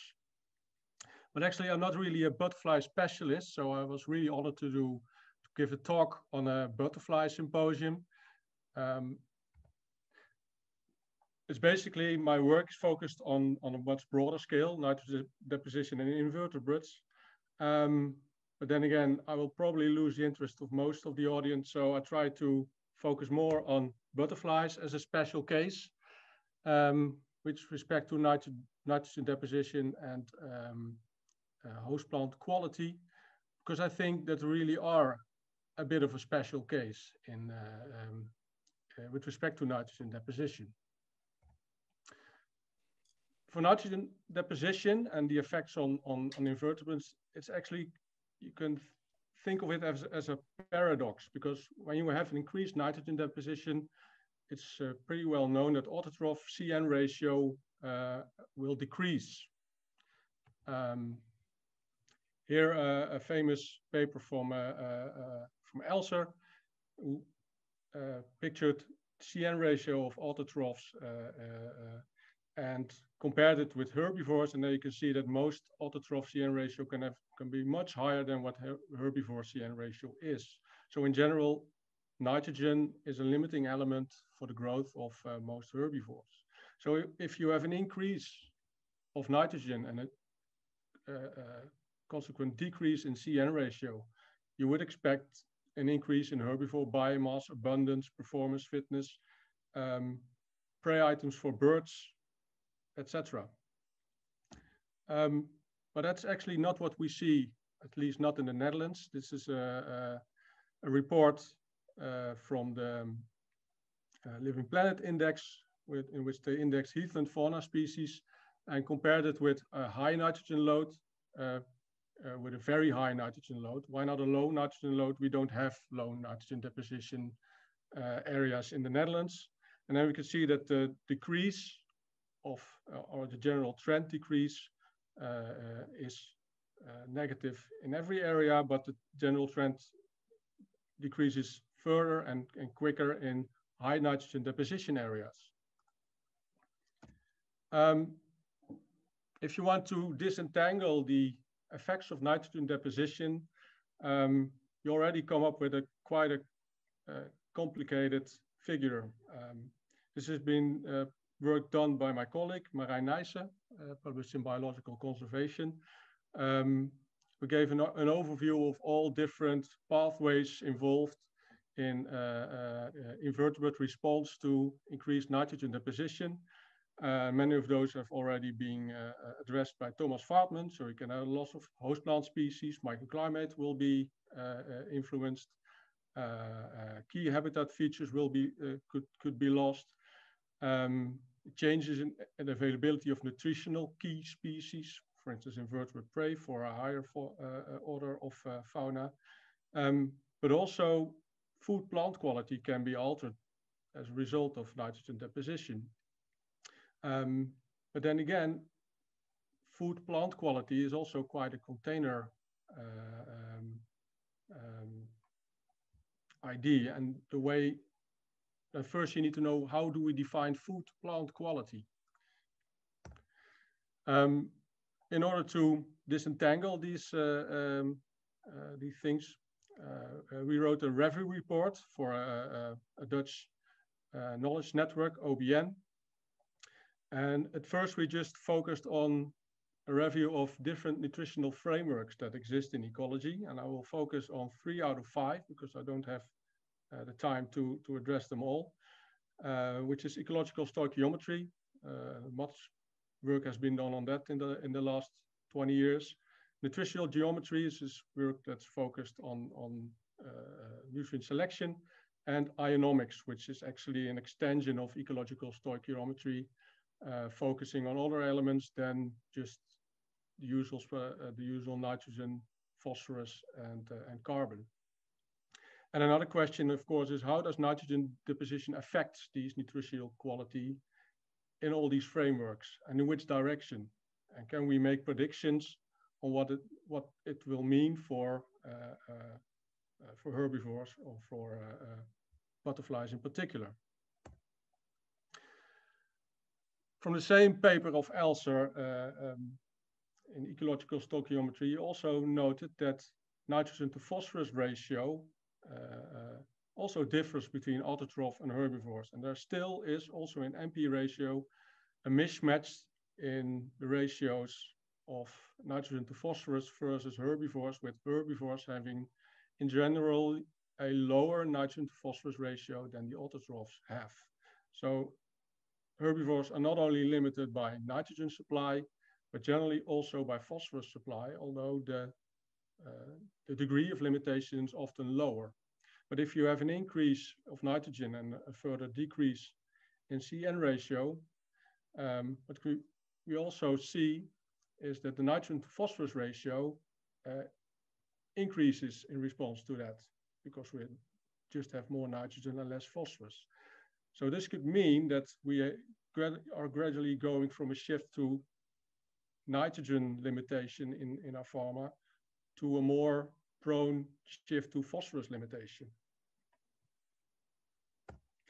Um, why I think that butterflies are a special case in, in, in this uh, is exemplified by uh, two papers from, uh, from quite, a, quite a, a, while ago, in which they just focused on what's the percentage nitrogen in different uh, uh, orders of, uh, of invertebrates and what's the percentage of phosphorus in invertebrates. And in the first paper, they just lumped Diptera and Lepidoptera together into the bigger group Panorpida, but well, we know they're mostly herbivore. Uh, uh, uh, so this is the nitrogen percentage in, in mostly butterflies and herbivorous Diptera. And with phosphorus, you can actually see that Lepidoptera are in the higher end of phosphorus. So they are in the lower spectrum of nitrogen and in the higher spectrum of phosphorus, which means that the N2P ratio of these species generally is rather low. Um, and this is also something that can be imagined logically because uh, both Diptera and uh, um, Lepidoptera, butterflies, they have a full metamorphosis, which means that in the larval stage, they really need to uh, reallocate a lot of nutrients. And if you want to reallocate nitrogen into different proteins, you need a lot of ribosomes, and ribosomal RNA is the major pool of phosphorus. So every species that needs to grow fast or need to reallocate a lot of uh, um, um, of protein is prone to have a relatively high phosphorus content because you need the machinery in order to uh, um, to do so. Um, do we see this in these kinds of shifts in, in the field? Well, there is some uh, some evidence uh, for my own work. This is the prey availability for black grouse at the, the, the last population in the Netherlands, the Sallandse Heuvelrug, um, which I just collected invertebrates and look at biomass of these invertebrates in relation to nitrogen and phosphorus in Calluna vulgaris shoots. Here you can see that under the lower end of nitrogen, um, an increase in phosphorus means an increase in biomass. And I can tell you most of biomass is made, made out by caterpillars in these, uh, in these graphs. While at the higher end of nitrogen, you see that there is generally a lower biomass and you don't see this increase anymore. So it seems that in our heathland areas, uh, uh, uh these bu uh, butterflies are probably um, caterpillars are more phosphorus limited than they are nitrogen limited and of course, we have uh, a very high degree of uh, nitrogen deposition. Uh, having 1.3% of nitrogen in Calluna vulgaris is, is, really at the higher end. And uh, in low nitrogen deposition levels, we can actually find uh, nitrogen levels of 0.8 to 1% at max. So this would be at the at the better end. Um, another very important aspect of ecological stoichiometry thinking is that there is some kind of threshold elemental ratio that you need uh, uh, to focus on is that it, it's, it is never a continuous, continuously going better if an element is increasing because it's always dependent on uh, the requirements uh, related to other elements. So here for uh, uh, aquatic fauna, diet carbon to phosphorus ratio has been uh, linked to somatic growth rate. And you can see there is a, an optimum at a certain ratio. And you can see this as, as a species-specific optimal ratio. and it probably relates to uh, uh, the requirements of different elements. Um, we tried to find if there was some kind of general N to P ratio range in these uh, for many invertebrates. I looked at a lot of p addition effect studies, studies. And we saw an increase in fitness as the, the, the NP ratio, which they start, started out with, was, was already high. So they, they would really lower uh, uh, the N2P ratio. Um, and it actually decreased uh, if the N2P ratio was already low to begin with, with some mixed results in between. So there's also quite a, well, at, at, least it gives some evidence that there is this uh, quadratic relationships in NP ratio uh, for food plants of, of invertebrates as well. If you want to put this in a broader context, you can also think of it as having a different nutritional niches between species. Um, here I have uh, uh, made, made a picture of a producer nitrogen to phosphorus ratio, uh, consumer fitness based on this threshold elemental ratio uh, theory and seeing specialist feeders as a homeostatic uh, species which is adapted to a more narrower uh, uh predictable resource ratio niche uh, in contrast to generalist feeders who are probably adapted to much more broad niche. And if you have a nitrogen deposition driving producer NP ratio to a higher level, then the specialist will suffer a higher uh, fitness cost than the generalist does because it's much more adapted to a broader niche. So we can also put in, try to diverge between species based on niche uh, uh, and on a nutritional niche, of, of course.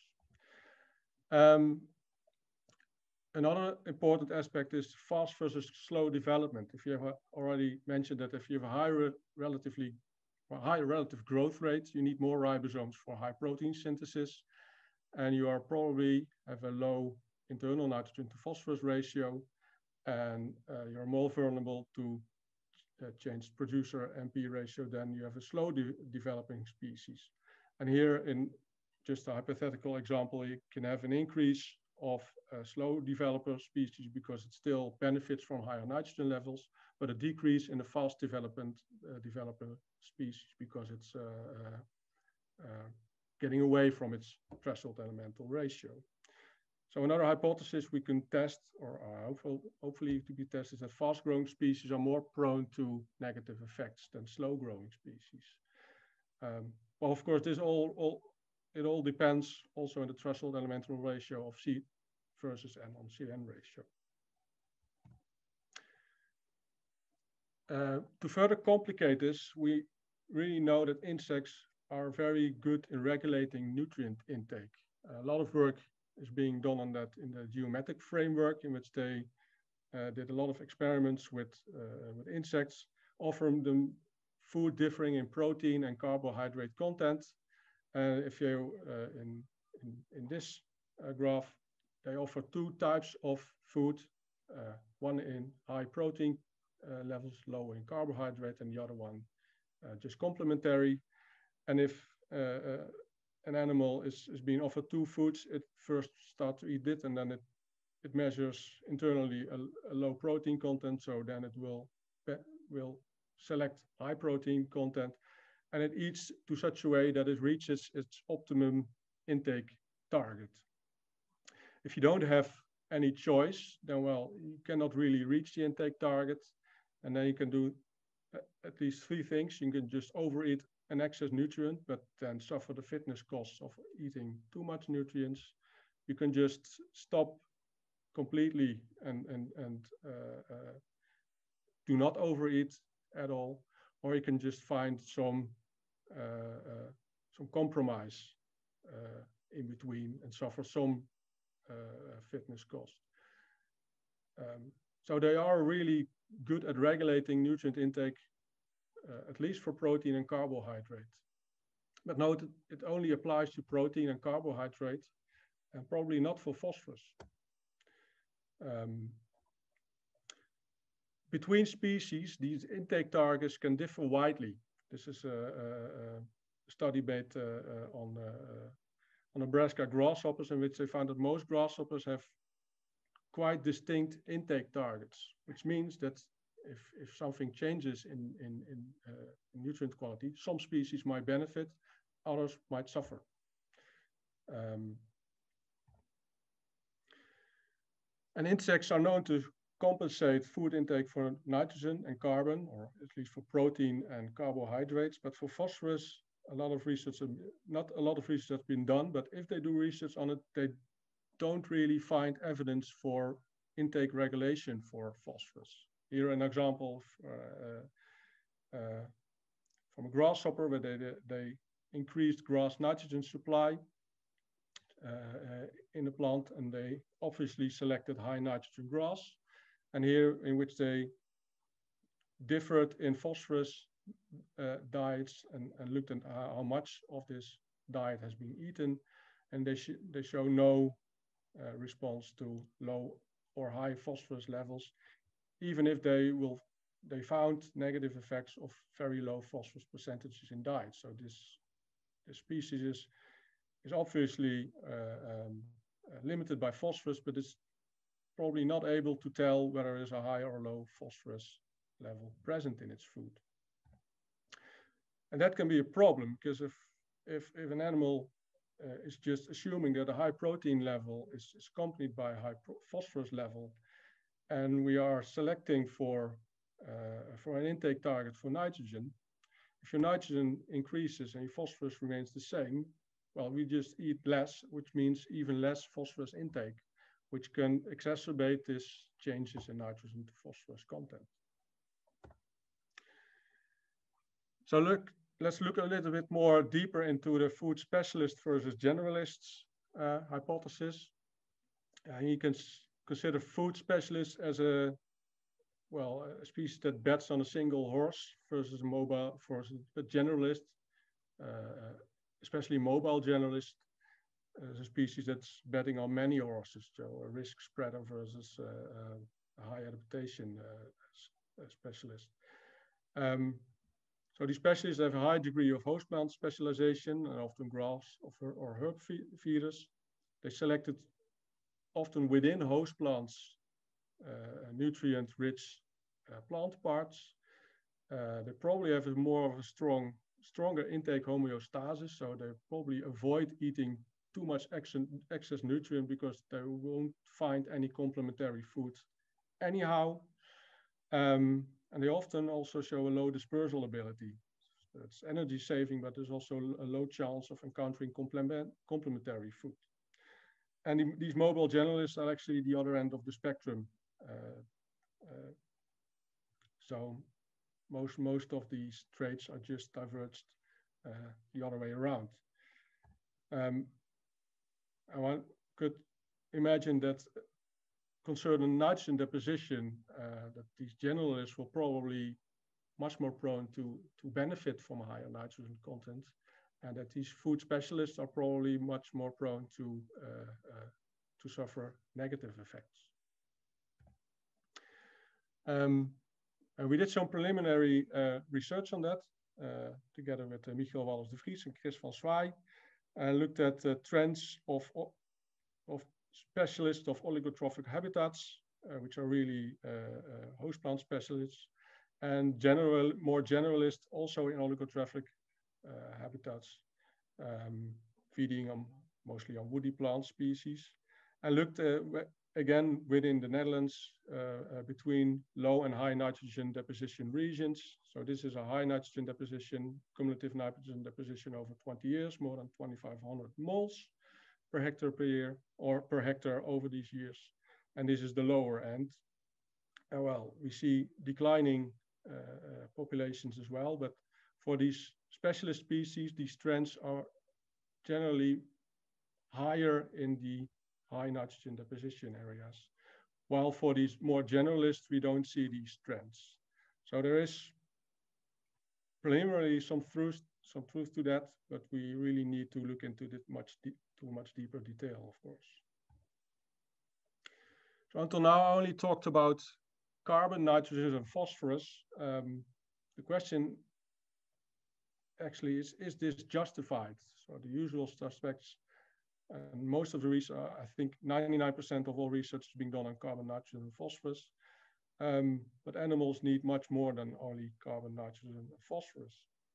And this is a famous uh, uh, paper on Nebraska grasshoppers again, um, in which they checked uh, uh trace metal concentration in, uh, in, in, in, food plant species, whether they actually had some predictive power in, uh, um, in explaining the densities of, of, of, of herbivores. And there are a lot of trace metals involved in these actually explaining densities of, uh, uh, of herbs, of grass feeders, forb feeders, and mixed feeders next to nitrogen and phosphorus. So it's not only nitrogen, carbon, and phosphorus. Probably a lot of other elements and elemental concentration are important as well in, if you want to really determine food quality for, uh, uh, for herbivores. Um, And nitrogen deposition also affects these elements because nitrogen not only increases nitrogen in plants, but it also has the, uh, uh, the problematic ability to, uh, to increase acidification rates. And with increased acidification rates, you get leaching of a lot of elements and subsequently these elements in host plants also tend to decline under nitrogen deposition. This is uh, uh, data from uh, beech in calcareous versus acidic soil in, in Germany. And at the higher nitrogen deposition or higher added nitrogen, we see a general decreasing trend not only uh, in, in, phosphorus, but also in elements like magnesium and potassium. And probably a lot of other elements also uh, uh, also will generally decrease because of leaching of these elements. Um, and these trace metals, they play a plethora of, of roles. Um, actually, two main roles in trace metals are, are, are important for, uh, uh, for herbivores. First of all, they are used in cuticular hardening. So if you have a mandible from a, a, from a species that is adapted to some tough grass, uh, you can bet, bet, bet on it that it has extra levels of zinc, manganese, sili uh, silica in its mandibles in order to cope with it.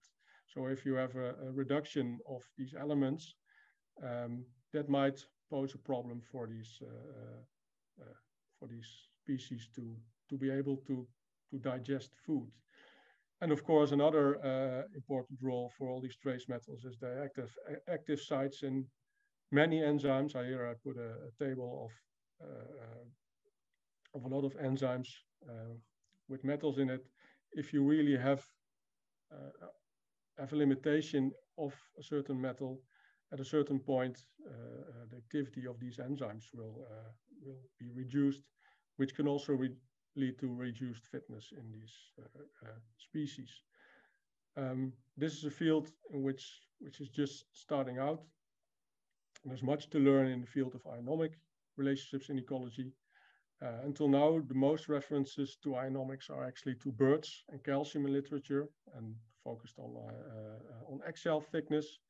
If you try to find something about invertebrates, you'll end up with maybe 10 papers at max.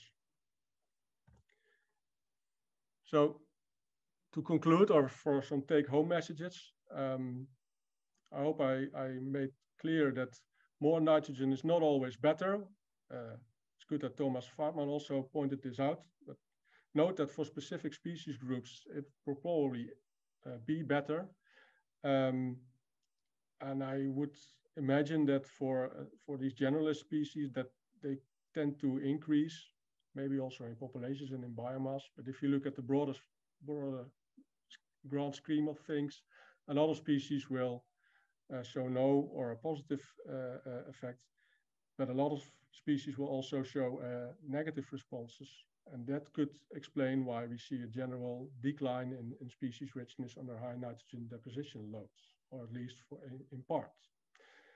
Um, I also explained that the effects of nitrogen deposition on plant nutrition for species is really environment and species specific. So species traits, life history, and specialism are all important determinants of a species specific response to increased nitrogen in, uh, in, in, plants or decreased uh, other elements. Um, probably host plants that grow on a naturally oligotrophic environments are most prone to big changes in elemental composition on a nitrogen deposition. It's not only nitrogen, but on a naturally oligotrophic environments, there are also, uh, they tend to be most vulnerable to acidification as well. So they, these changes will probably also be more pronounced than in less uh, uh, oligotrophic environments. And we need fundamental knowledge on how insects regulate nutrient intake and how uh, um, nutrient function in, in insect physiology in order to find out how the exact working mechanisms are. And if we combine these three main parts, uh, um, I hope to put up some testable hypotheses that predict species response to uh, increase nitrogen deposition.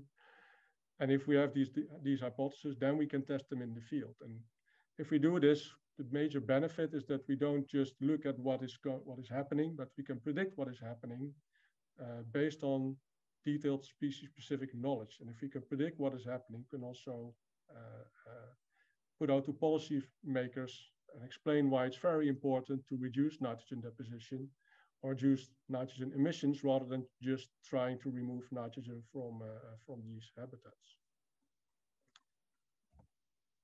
So let's get up, start testing, go out in the field, and um, I thank you for listening.